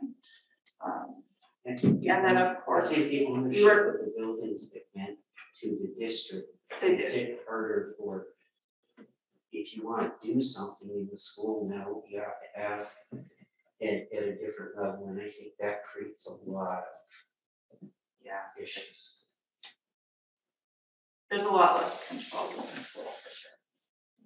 I You know, I totally get why Johnson would wanna do that, and it it's a decision that Johnson's gonna have to make for itself. I would tell you, I think that there will be pushback against some of that um in um the education um um agency itself and in um in the legislature for from the people that originally supported Act forty-six. The difference between Stowe and um Morrisville and here is that the State Board of Education overruled the secretary who brought down a plan that said Stowe and Morrisville shouldn't be merged. And then, um, and the board voted, um, the State Board of Education voted twice. I think it was four to three votes twice. Um, and it was, and, and wasn't the same people each time that moved around. So there is within the education agency itself. Uh, uh, they aren't quite sure how to handle Stowe and Morrisville because the secretary at the time and the agency itself. Had recommended to the state board that they not first force them into a merger. So that puts them with a lot of the people that are making those decisions in a different position than this district would be. But um, it, it- I think there are a lot of things in Act forty-six and the way that it all came together. That make it really difficult when some, when people in the town of Johnson who paid for that school. Um, can't get in the building without calling the superintendent's office first. It, It's not that bad. well, yes, It was but- that at the time. It was. but, but, but you've had to work through those issues to get to that, and, um, and I think, um, but it's those same issues all over the place, so. One last thought, Eric, on your point about the CDL. Like when we talk about critical needs scholarships, like I never imagined I would be talking to my friends around the county about who has a CDL. Um, but I was, and like, and my friends' responses were, yeah, we need CDL drivers too. Uh, so that's really a big deal and it really is a problem everywhere. I think you all know it from your towns, actually. Go Uh, ahead. just going back to the, I, I, these guys may know far more about it than I do, but, and I haven't dove into it too meticulously, in part because it wasn't in my district, but it's helpful to know that it, that it might be. Um, it seems to me like no one really knows yet what's gonna happen with some of these votes. I mean, I think a lot of this has to get worked through the legal avenues, but I can definitely reach out to um folks and try to understand a little bit more of like, how do we anticipate this moving forward? One thing I would say is that I I know some folks who, eh, unless I'm mistaken, my understanding is that with the merger, it opened things up so that people could allow their kids to go to any of the primary schools within that that district. And I do know parents in Johnson and uh, who are, you know, sending kids to Hyde Park and so I do think as a community, that would be an aspect to consider, is that if you make that decision, that there might be kids getting pulled out of schools that they're currently in, or how would you navigate that decision, so just some things to. I'll be real quick. Um, first, I just want to mention, I, um, the three legislators, I find, um, you all to be really, uh, extremely accessible and approachable, and I, I really appreciate that. Um, and President Mills, um, I've seen more of you in the last two weeks than I've seen, uh, of presidents, college presidents past in years. So I really appreciate your community, community engagement and, and look forward to, to growing relationships. Thank you. Um, in terms of things that we're facing as a community, um, and I think communities all over the state are facing it and will face it more. Um, emergency services, we're really starting to face a crisis in terms of staff and uh, EMS, costs of EMS, uh, just the basic structure of policing in Vermont where some towns don't have any coverage at all and the state police go off the road you know, at one AM or whatever, and so we don't have any coverage, so we have to have this supplemental coverage, this, this um, contract with our local sheriff, which um, we're really looking at creative ways to solve that through intermunicipal agreements and and different sorts of arrangements with our neighboring communities, but um, I, I think we're really gonna start seeing a big disparity between rich towns and poor towns in terms of where the, who gets public safety and who gets- gets ambulance service and who has to wait or who has to drive themselves. And I, I think that's gonna be a real, uh, a real crisis for our rural areas. So more on that, I'm sure, but yeah, thanks. Wait, and I know we've been working with sheriff's department around the retirement. Yeah, well, that's, So, yeah, you know, hopefully we can, we can see something happen. I know Senator Westman's working on it, I've been trying to come up with some solutions, working with Roger Martin, so hopefully. Yeah, um, yeah, hopefully we can, um, move, um, the government operations, um, committee and, um, the treasurer's office. Um, the treasurer's office, every time we brought anything up on that retirement issue, has come in and testified and, um, it's very hard in this environment with all of the problems within retirement to, um, um, when the treasurer comes in and says absolutely not. You know, what really shouldn't say, what really ticks me off and I, I, I just corrected my language a little bit. You know, the retirement plan that we wanna move our deputies into. Yeah. Um, we're being penalized because we made a decision in two thousand three in this town. Washington County has never had a retirement plan for their um their deputies. And they just were let into the plan that we would like to move to. And it's like, I I don't understand. Um, one of the things we um have talked about is getting them to do an actuarial study about what is the actual cost of this? So maybe we could take some money and pre-fund this to take away some of the issues. But um um you know, um I've got a bill going in with Jeanette White, the chair of the government operations committee, where the bill will go. So hopefully um that will help move the issue along. But I don't understand why, I I think Orange County and Washington both elected to go into the same retirement plan that we wanna move to. And neither one of them has had had retirements for their before. I for the life of me don't understand why the treasurer would let that go through. And always in, uh, um, be in the way, roadblocking us. Ultimately, every sheriff's department should be the same, the same, and it should be very similar to the state department, the, I- the state, because otherwise the state's gonna constantly be poaching our people, you know? Just what's happening. sure. You know, you know the story, we Yeah. talked about it, ad nauseam. And whatever we can do to, to help, um, you guys move that forward, we'll feel your way. So we have taken three quarters of an hour for you guys. We were ahead of the schedule before you guys.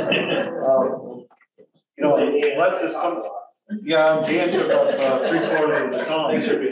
Um, Duncan, you got something else? I just wanna add emphasis to on that, uh, you know, law enforcement services, in particular emergency services, public, public safety in general. Um, you know, the state is great at, um, putting together study committees for this and that and the other thing.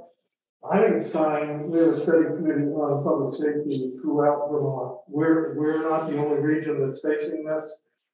Um, the retirement is a huge issue, uh, but there are other issues, and there should be ways.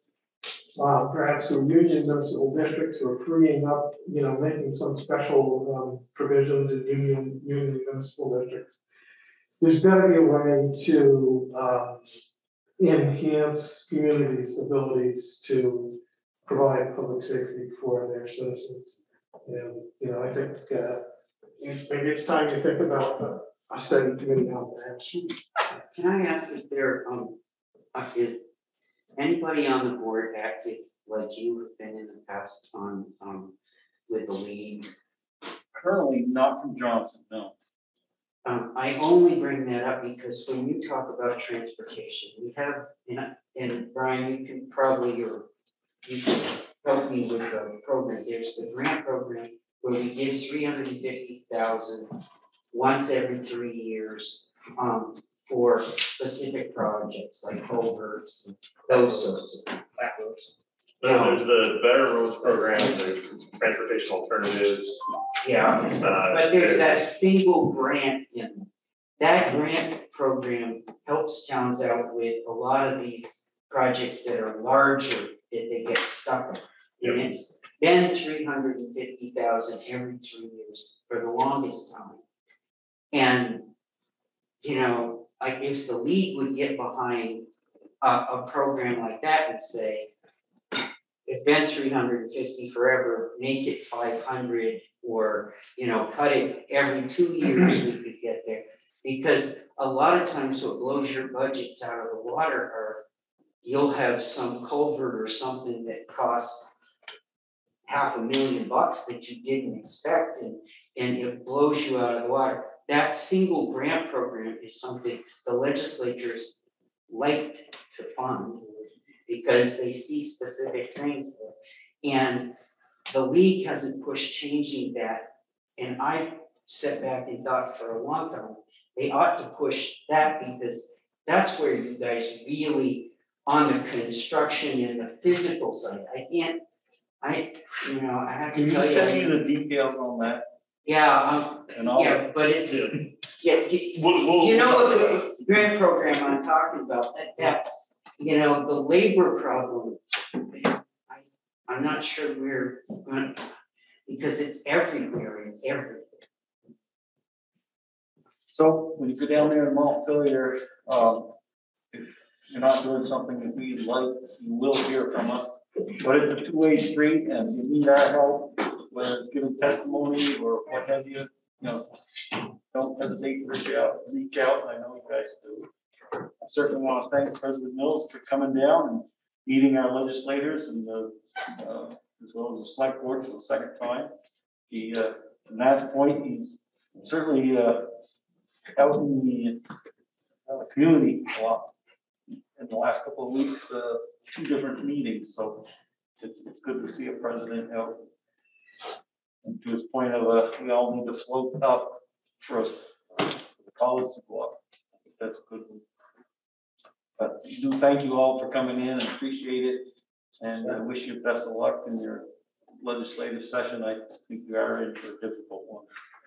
And President Mill, you're, you're in difficult waters there too. And anytime during the session, if you, and I'm gonna speak for the other two. Anytime during the session, if you see something come up, and you want us to come to a meeting. We're there. Well, appreciate it. Appreciate all of your time tonight. Thank you for coming. Thank you guys. They have to want to more. Yeah, you want- to Run out. Yeah, absolutely. It is an open meeting, so you are welcome to stay.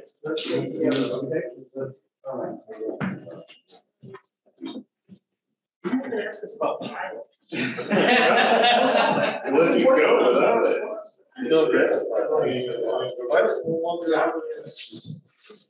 It's when they don't put it, they hear about Okay, so Historical Society, we did get a letter from the Historical Society. They were questioning some, uh, oh, what was on the leak that was happening and what's happening on that as far as from our, our side. And, uh, there was something about attending meetings regularly. It's like.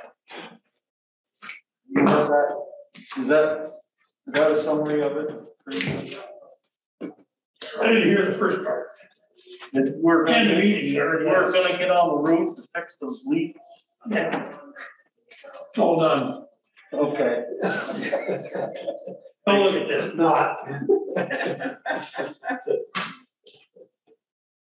Yeah, uh, just a couple of things that, it was, uh, we got a letter from, was it Dick or some, Uncle Dick? Uh, we were questioning on the leak, what was the status of that, and uh, about coming to regular meetings. And I know, Brian, do you wanna give an update on the leak? Uh, right now, we've made, uh, several phone calls. We had an individual who indicated that they might be able to show up, uh, this coming week. But this is, uh, same contractor who's told us that a couple times. So we're, we're still trying to find anybody to, to come, uh, even give us an estimate or, or, or commit to doing any of the work. Yeah, I, I don't think we're, I don't think we're an especially attractive client for them. Um, you know, municipality always its bills, but we can be a little bit slower to make decisions, to enter into a contract and to, uh, um, you know, require estimates and everything else. So I think the contractors have many easier clients to take. So we're at the bottom of the list. And in addition to that, meeting the front porch, and, and Tom can speak more specifically as to, as to how and what is. There's bracing on the back. Actually exit stairway, it goes from Donnie Garrett's apartment.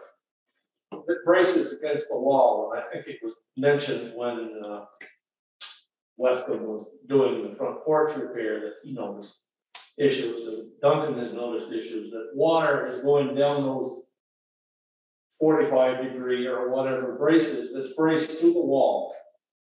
And the vinyl siding is J-channeled around it, so water can flow on those braces in behind the in behind the vinyl siding. That's one thing we want, wanted to make you aware of. That's an easy fix too, just take the forty-fives off the wall, put them up. You know, that water's coming in through the wall into the building. And who knows what the rot is gonna be in there. But that's relatively simple. I think, I think one of our primary interests in meeting with the board was, um, we know it's budget season. Um, we know that there is the roof leak in the main part of the building, which is related potentially to an insulation um, issue problem. We know about the porch roof leak and we know about the, you know, the issue with the, with the back uh, stair that, that uh, Dick just mentioned. We, we'd really encourage the board to think about those issues in terms of your budget, as you work on your budget. and Hopefully try and include some money in there.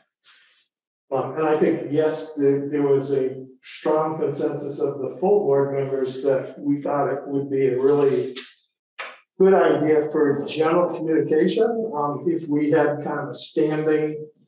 Um, I know in the past, the planning commission had a standing spot on your agendas, sometimes they came, sometimes they didn't, sometimes they submitted a written report, um. We'd like you to consider the same thing for the historical society, and not that we might be there every meeting, but. Um, if there was an issue that, you know, needed to be raised, it seems like it be really nice to. Just have that agenda slot where we could, um, you know, address any issues, so we ask your consideration for that as well. So how about we take up each item separately, um. As far as budgeting, uh. That would be eligible for money out of the, uh, buildings and grants, uh, reserve fund. To make any repairs that we may need. Uh. And, you know. Seems like you guys have been hitting that fairly hard lately, though. Yeah. We, we have, um, but we could, when we do our budget, we could put more back into it too. Uh, to Brian's point of, you know, I mean, he has so much time of day to work on stuff. And if we're not even getting contractors calling back, and if any of you have been dealing with a contractor lately, it's a very, it's a struggle, They- they're right out straight, they got two years worth of work. This is not probably a big job for them, so. You know, unless they- see a high profit margin, they're probably not gonna wanna consider it. Uh, And I'm, just for my own personal opinion, I'm not sure what the board's position would be, is if you guys took the lead on trying to get a contractor to come there and, and dogging them, just not letting them go until they get the job done, it might be more successful than us trying to do it here with Brian's time, he easily gets diverted to other things. Any thoughts on that? Well, we certainly can try that. Uh, Yeah, you know, we're, we're all gray hairs in that society, and we're kind of the caretaker of the building. And, uh, you know, if we don't let you guys know what's happening there, you're not gonna know it. The building's gonna go, you know, gonna go down. Um, one of the things that bothers me also is the upstairs. Uh, they're good boys, they're good young men. But, you know, we've had that one time with that bathroom leaking down through the ceiling. And that's gonna cost big bucks to get that. Plus, down the road, uh, you know, we're getting more stuff for us to get on that second floor if it's possible, and the third floor. uh, You know, it would be a big boom for us. And, uh, you know, that way that second bathroom could be shut off. And, uh, that kitchen could be shut off. We would have to worry about that. It's, it's a big worry of mine because we've been, been through it once. But more importantly, you need the immediate concerns taken care of with the leak. Oh, you're right. And the, and. would The you roof, guys- Would you guys consider taking on the lead on dogging some contractors and trying to get somebody in? Well, under our new bylaws, we do have a buildings and grounds committee. Um, I guess we could refer that to, and Tom is on that buildings and grounds committee, I believe, don't you, Tom? Yeah.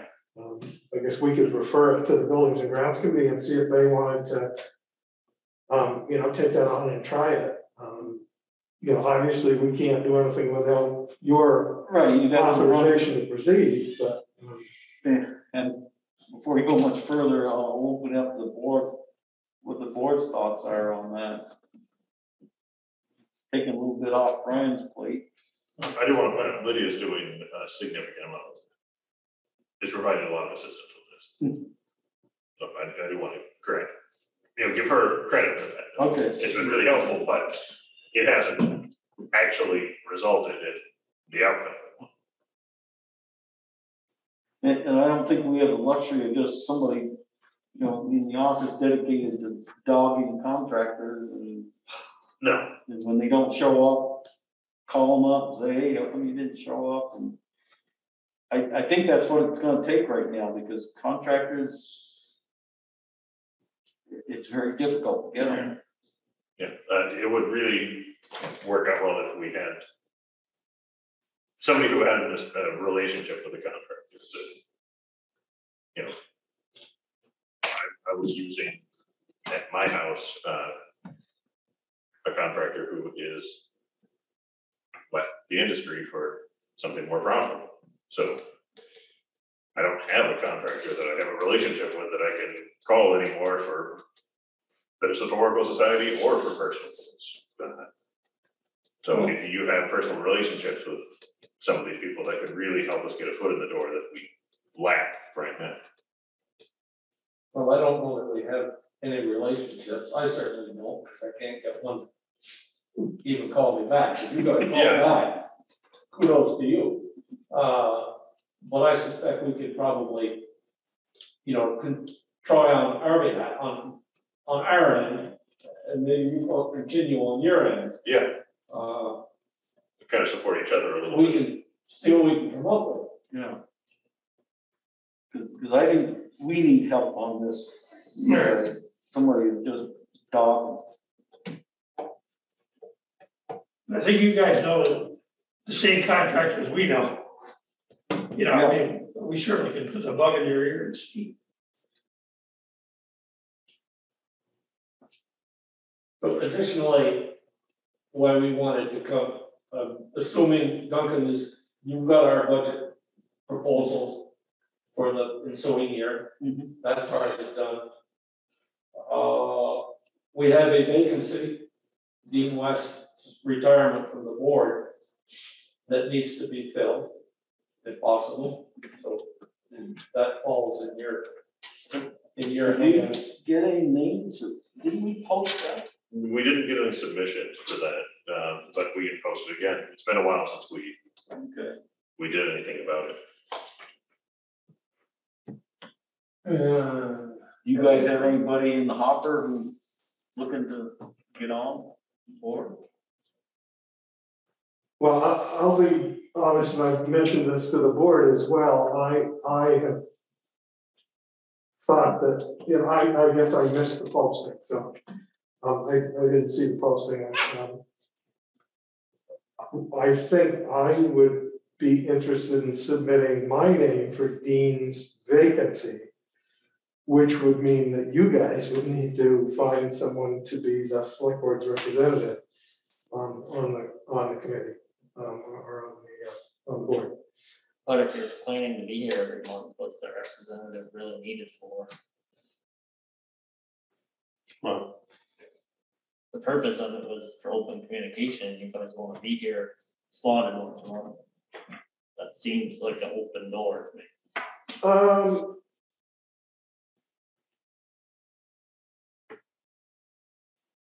Yeah, that's, that's uh, reasonable. I, I know in the past, Evan, the board originally actually had board, a board member um, sitting on the, uh, on the board of the Historical Society. I think I was the first one that was a non, not a board member. Um, you know, sitting on that board, so that's why we kept it in our bylaws that, you know, there would be a board representative.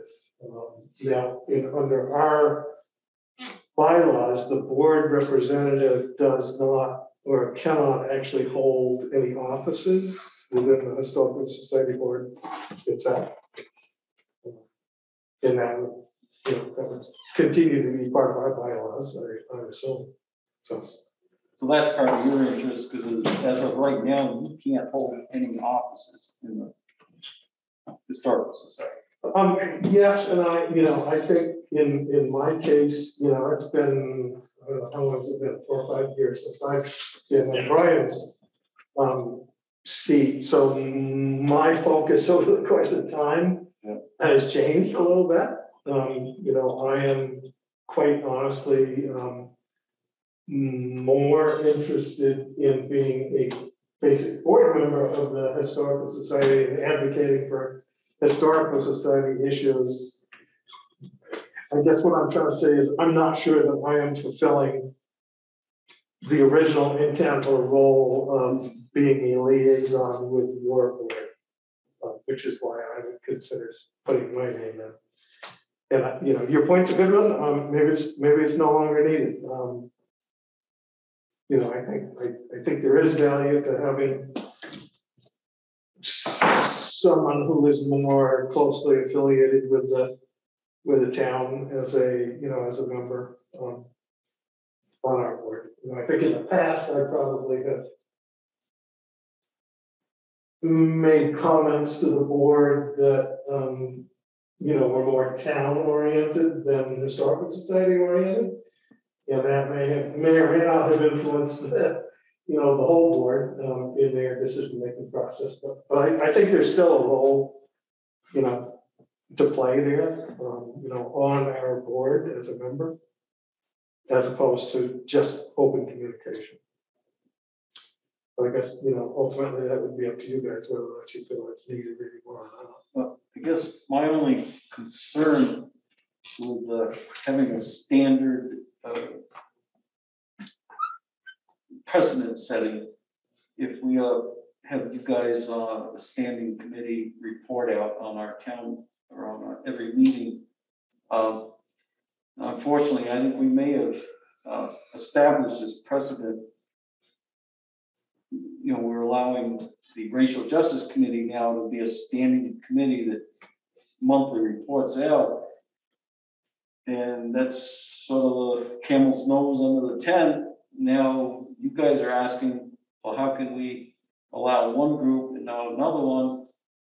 And we could be heading down a path of every committee and board and commission in the town is gonna wanna have a, a, a time on our agenda. So I'm not sure that we've done the correct thing here by, um, What would that do, is it doing anyway? We have two meetings a month. There's no reason why every. right, but I don't wanna see the whole first half of our agenda is reporting out by every committee in the town. I, But it I doesn't think, have to be monthly, the cadence could be set depending on the committee. I just wrote down, I mean, what would the harm be if it was quarterly reporting? And everyone just rotated, so we had one or two committees each first month. and, and maybe that's what we need to give thought to, is how we wanna, Isn't the racial justice committee a, bit more of a limited term? Um, committee also, I mean, I, I think the historical society is here to stay. Um, you know, presumably at some point, the racial justice committee is gonna.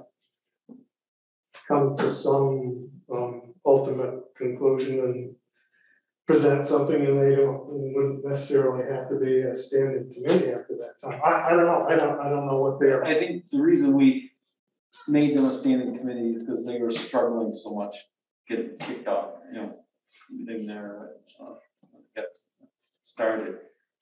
Um, and then it's just been that way since, Well, you also, always used to have, um, the planning commission as a. you know. we still do if they And wanna come in, but they haven't come in for a while. I suspect that nine times out of ten, we wouldn't be there either, but if we, you know, we might, on the other hand, submit a written report. You know, on a monthly basis, um, That'd be great. I don't see anything wrong with committees giving reports to the select board. It keeps us uh, abreast of what's going on. And Like Beth said, you know, you could pick up, you know, quarterly, every other month or whatever. uh, There's nothing wrong with it, I don't think. If it's board pleasure, we can start doing it, and if it, you know, everybody's thinking it's not working, we need to change it quarterly or some other frequency. I do want to support your point, which is that meeting time is limited and we need to preserve its focus. We also need to improve, it sounds like, our communication with um, historical society. That's kind of the general idea what you're asking for. But that seven to ten o'clock twice a month is pretty, hmm. tends to be pretty chock a block full. Well, if people could make it, we could start at five forty-five. Yeah, that's, the answer is not just, Not to- extend it. the answer is not just to extend meeting time, I we just, we just need to be really disciplined with how we use it. We could, So speaking of discipline. Maybe we don't solve this right now, we focus back on the issues with maintenance on Fulton House, which is our agenda item. Well, I think if they're willing to take it on, and the board's okay with that. Well, I'm not sure we're gonna take it on. I mean, take it on. We'll, we'll put That's our, just, put our hand in the fire, and see what we can do, but. we're not handing it over. No. We're, we'll still help with trying to get a hold of somebody, uh, and we'll appreciate any assistance you can provide along the same line. Not to open it, not to open a can of worms, but I wonder the condition of that roof overall. The condition of that roof overall, it seems like it's always something with that roof. Um, and if it's, There's only a couple spots that really, uh, We talking two different areas, Matt? I think you, you know the building better than I do, but I just, it seems to me that. I'm just wondering about the overall condition of the roof. If it's okay, then great. Well, the, the porch roof has a pretty serious leak, which is causing some additional damage. That is separate from the roof which leaked, um, and ran down the wall. I and- understand. So, so they're- they are, they are two separate areas, but, um, And they're both in poor condition, or is one in reasonable condition, it just had a, with happenstance? one's in reasonable condition, the other one's pretty poor. Yeah. The porch roof The porch is poor, okay. yeah, yeah, I, I, I was just, to- not to beat a dead horse, but, um, I did meet with, um, I'm blanking on his name. oh, what's the name? Dana? Dana? Thinking Dana? Dana, yeah, Dana McKnight, and I, I think I gave a written report to you guys, which Yeah. was. Dana's suggestion was one of a couple things, either rip it open and insulate it, which would cure the problem. Um, leave it as it is, monitor it carefully throughout the winter. And if in the springtime it leaks, then he thinks it's a different kind of a problem, which would also be cured by insulating it. So I think the ultimate decision that you guys had talked about was ripping it open and insulating it, and that would be the ultimate fix. So I think that's where, That's for the main roof. Yeah, yes, yes. that must have been a long time. It uh, was. it was this spring, summer. Yeah. I don't remember exactly what time of year I it was. met with Dana, um, I remember that, did we, you and I went out there and we got the call that he was gonna be late, yeah, he and wasn't, I had to go for he something didn't show up, else. and you had to go somewhere else, so I, s- I hung around and waited for him to show up. Uh, but yeah, so that is our plan, uh, we just haven't been able to get back. But right now, we need the porch roof and the bracing for the deck, for the steps. Those two things need to be fixed. Well, you know, the, and the lesson of the two evils is the porch roof. The reason they say that is they're gonna have snow on it this winter. And nothing's gonna happen now, because there's no heat there. But, uh, in the spring, uh, next summer it's gonna have to deal with it. But that other one, that one where the, uh, the, uh, back porch, um, pillars, if you will. Yeah, just take it off the wall and put them upright. Yeah, and I, I, filled those up with foam and, um, tried to seal them with, um, you know, silicone sealer. But that's a, that's a temporary fix at best, you know, I did that a couple of years ago, so, you know, that's not gonna last. That's not gonna last forever. And I can tell you, when I did that, I put my finger right through the wall. With those brackets going. So there is some rot there, how bad it is, I don't know, but it isn't gonna get better.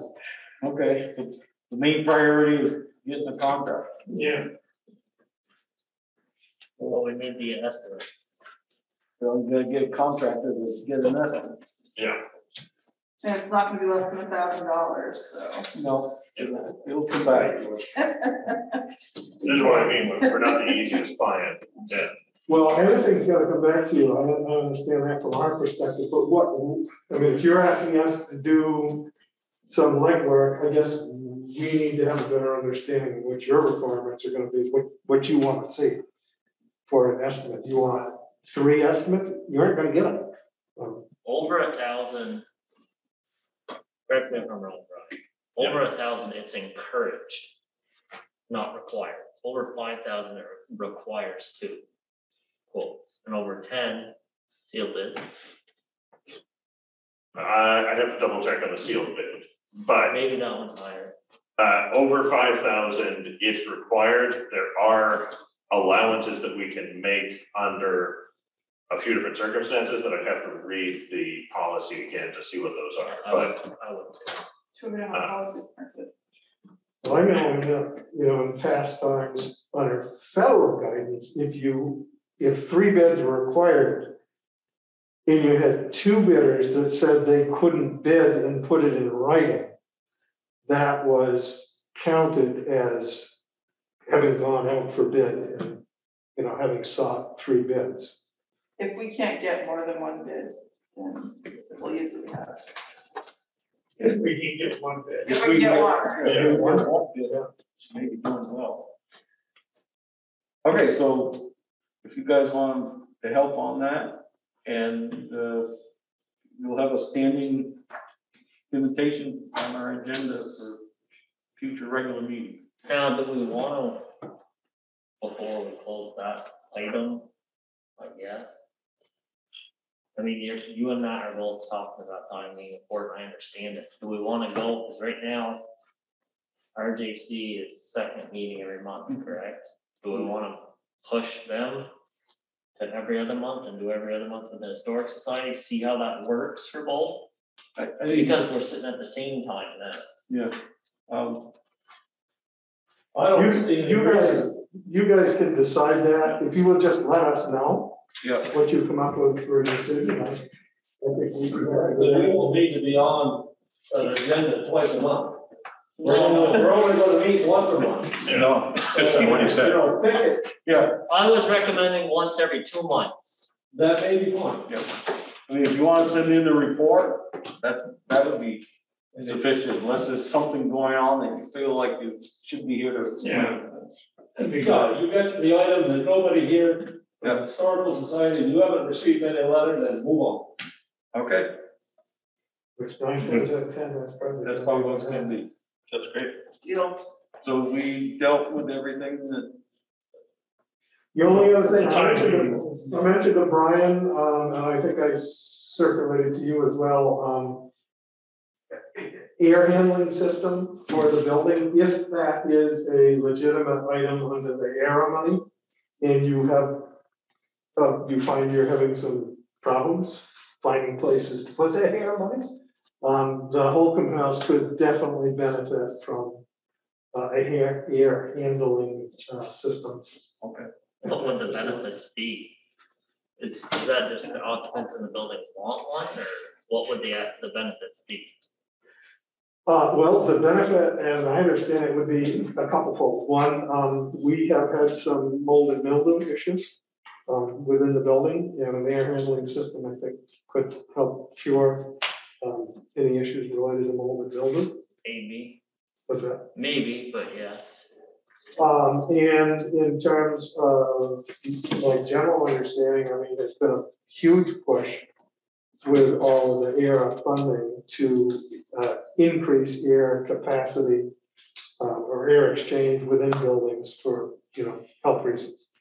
Um, I think our building is an old building that's pretty well shut up, shuttered up, um, and I think it probably could benefit from air handling you know, the ultimate thing with that, Evan, I think would be to have uh, a heating and ventilation contractor that knew what they were doing. Come and do an assessment and, you know, give. Give a, a- an accurate. Assessment and estimate of what, you know, what the benefits would be. We got, we've got some people on the board that, uh, with breathing problems, you know, I guess we're all getting older. And, uh, and they're bringing it up at the meetings about the breathing and not really, you know, just soon meet here because they don't have to breathe the air there, which is too bad. Well, it's a public building too. We've got members of the public, you know, if we ever get back to a normal situation. we have members of the public going in that building.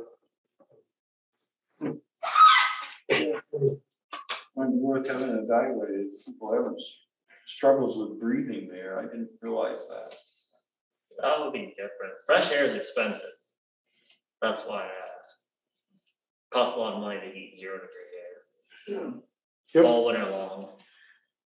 Uh, it- that's true, and that building, as you may or may not know, is not insulated, so. uh, Which would indicate that you don't need an air exchange. If it can flow. It's not a tightly sealed building, so there's probably here. So there's probably fresh air already in there. is what you're Yeah, I saying. don't know how much actual exchange there is, but, uh, you go in there sometime and take a good sniff. I, I would be happy to. I, I understand it's important. It's just very costly every day. Does it smell like formaldehyde? No, if it smells like formaldehyde, it might, it might be a good thing. We did pick up an air purifier, we don't know, we just hooked it up. Donated. See what happens. Merry Christmas. Thank you for your time. Merry Christmas. Merry Christmas. Merry Christmas, thank you guys. Thank you, guys. Yeah, we'll be in touch if necessary. Yeah. Okay. in touch soon.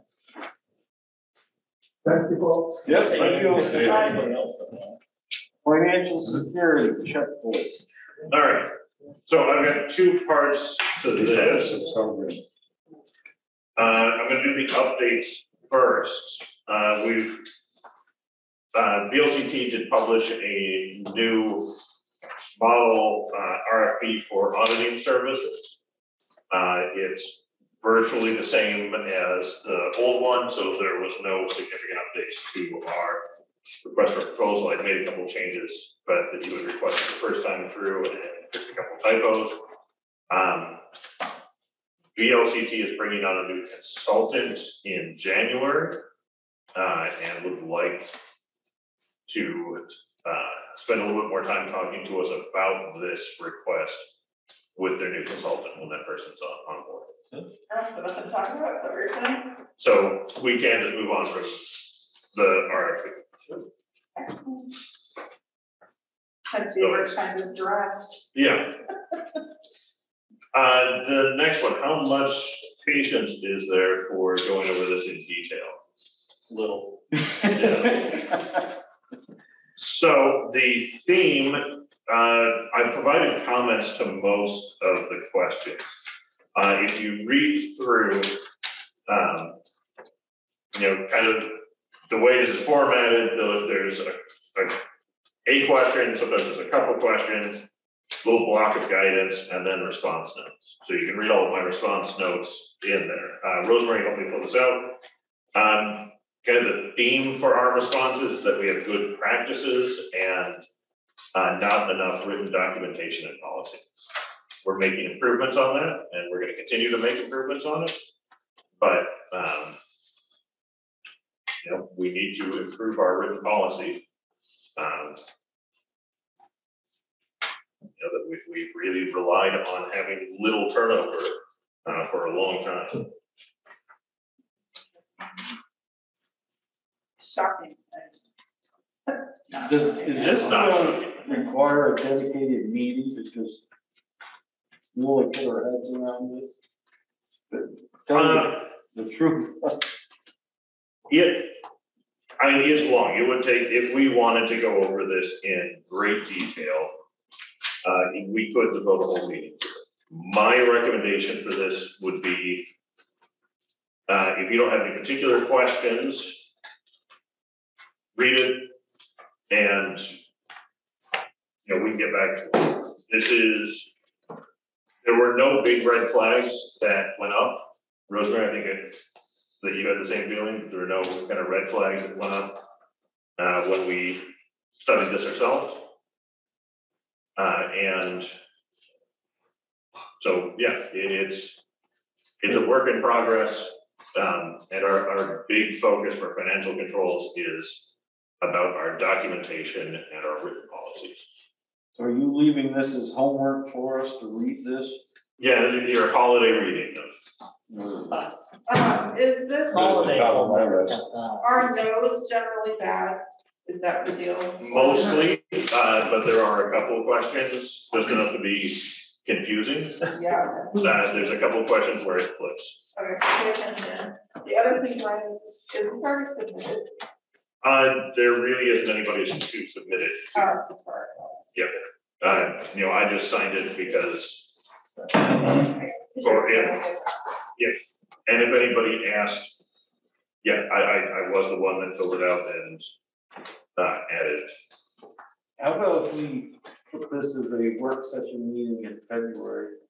And we just, because we're gonna be heavy into the budget. Yep. The other thing we could do, Eric, just a thought, and I'm totally for a work session on this, by the way. Um, but we could, there's five sections, we could just split it up, one section per, One section per meeting. yeah. Yeah, the five sections. Uh, Monitoring is the last section. So Organize once it's information each read section, communication, and then control activities, a risk assessment and control environment. That is actually a little That's different than the way not- the sections are divided. Sorry. Transparency and confidence, guidance, continue, uh. Though continuity that's still a little bit different. It's general controls, Okay, yeah, okay. Sorry, there's more than that. uh, controls over financial records, Controls over cash, controls over account receivable and collections, controls over purchasing and dis- disbursements, controls over payroll, controls over grand listed tax record, controls over mun- municipal property and equipment, and controls over information systems. Sorry, there's more than that. It's a, it's on page one. we can, we can break it up. Um, What's the board's pleasure? You wanna break it up and have them I do really wanna try and tackle it. bite full every meeting, or you wanna tackle it in one work session?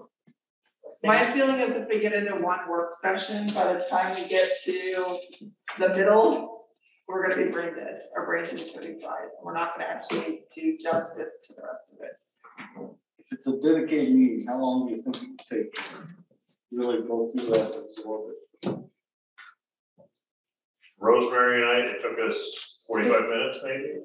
Um, Um, and then it I took feel like we're gonna have a lot more questions. I'm I'm probably thinking a good two hours. at least. yeah. Yeah, 'cause I think it was, it took us together about forty-five minutes and I spent about another forty-five minutes writing the comments. Uh, and I didn't have comments for every question, so, uh, it's yeah, I would say at least two hours, three is, is a little more like. So it would be the agenda item for, I, I would not recommend anything else of substance. and a good time to have If we're something really dedicated gonna, is February, because there's not anything else going on for the central town meeting. And I can do it from home. And you can do it from home. So why don't we plan on that, and we will have a hard stop of midnight, we won't go any further. We'll hold you to that. Hard stop at midnight. If we could use our second meeting for that, that would be great, because that's what this is gonna be. Second, we need the regular. Make a baby by then. Two hours is fine. Quite excited, Rosemary. February twentieth. Okay, we can manage. anything else with that? Or February.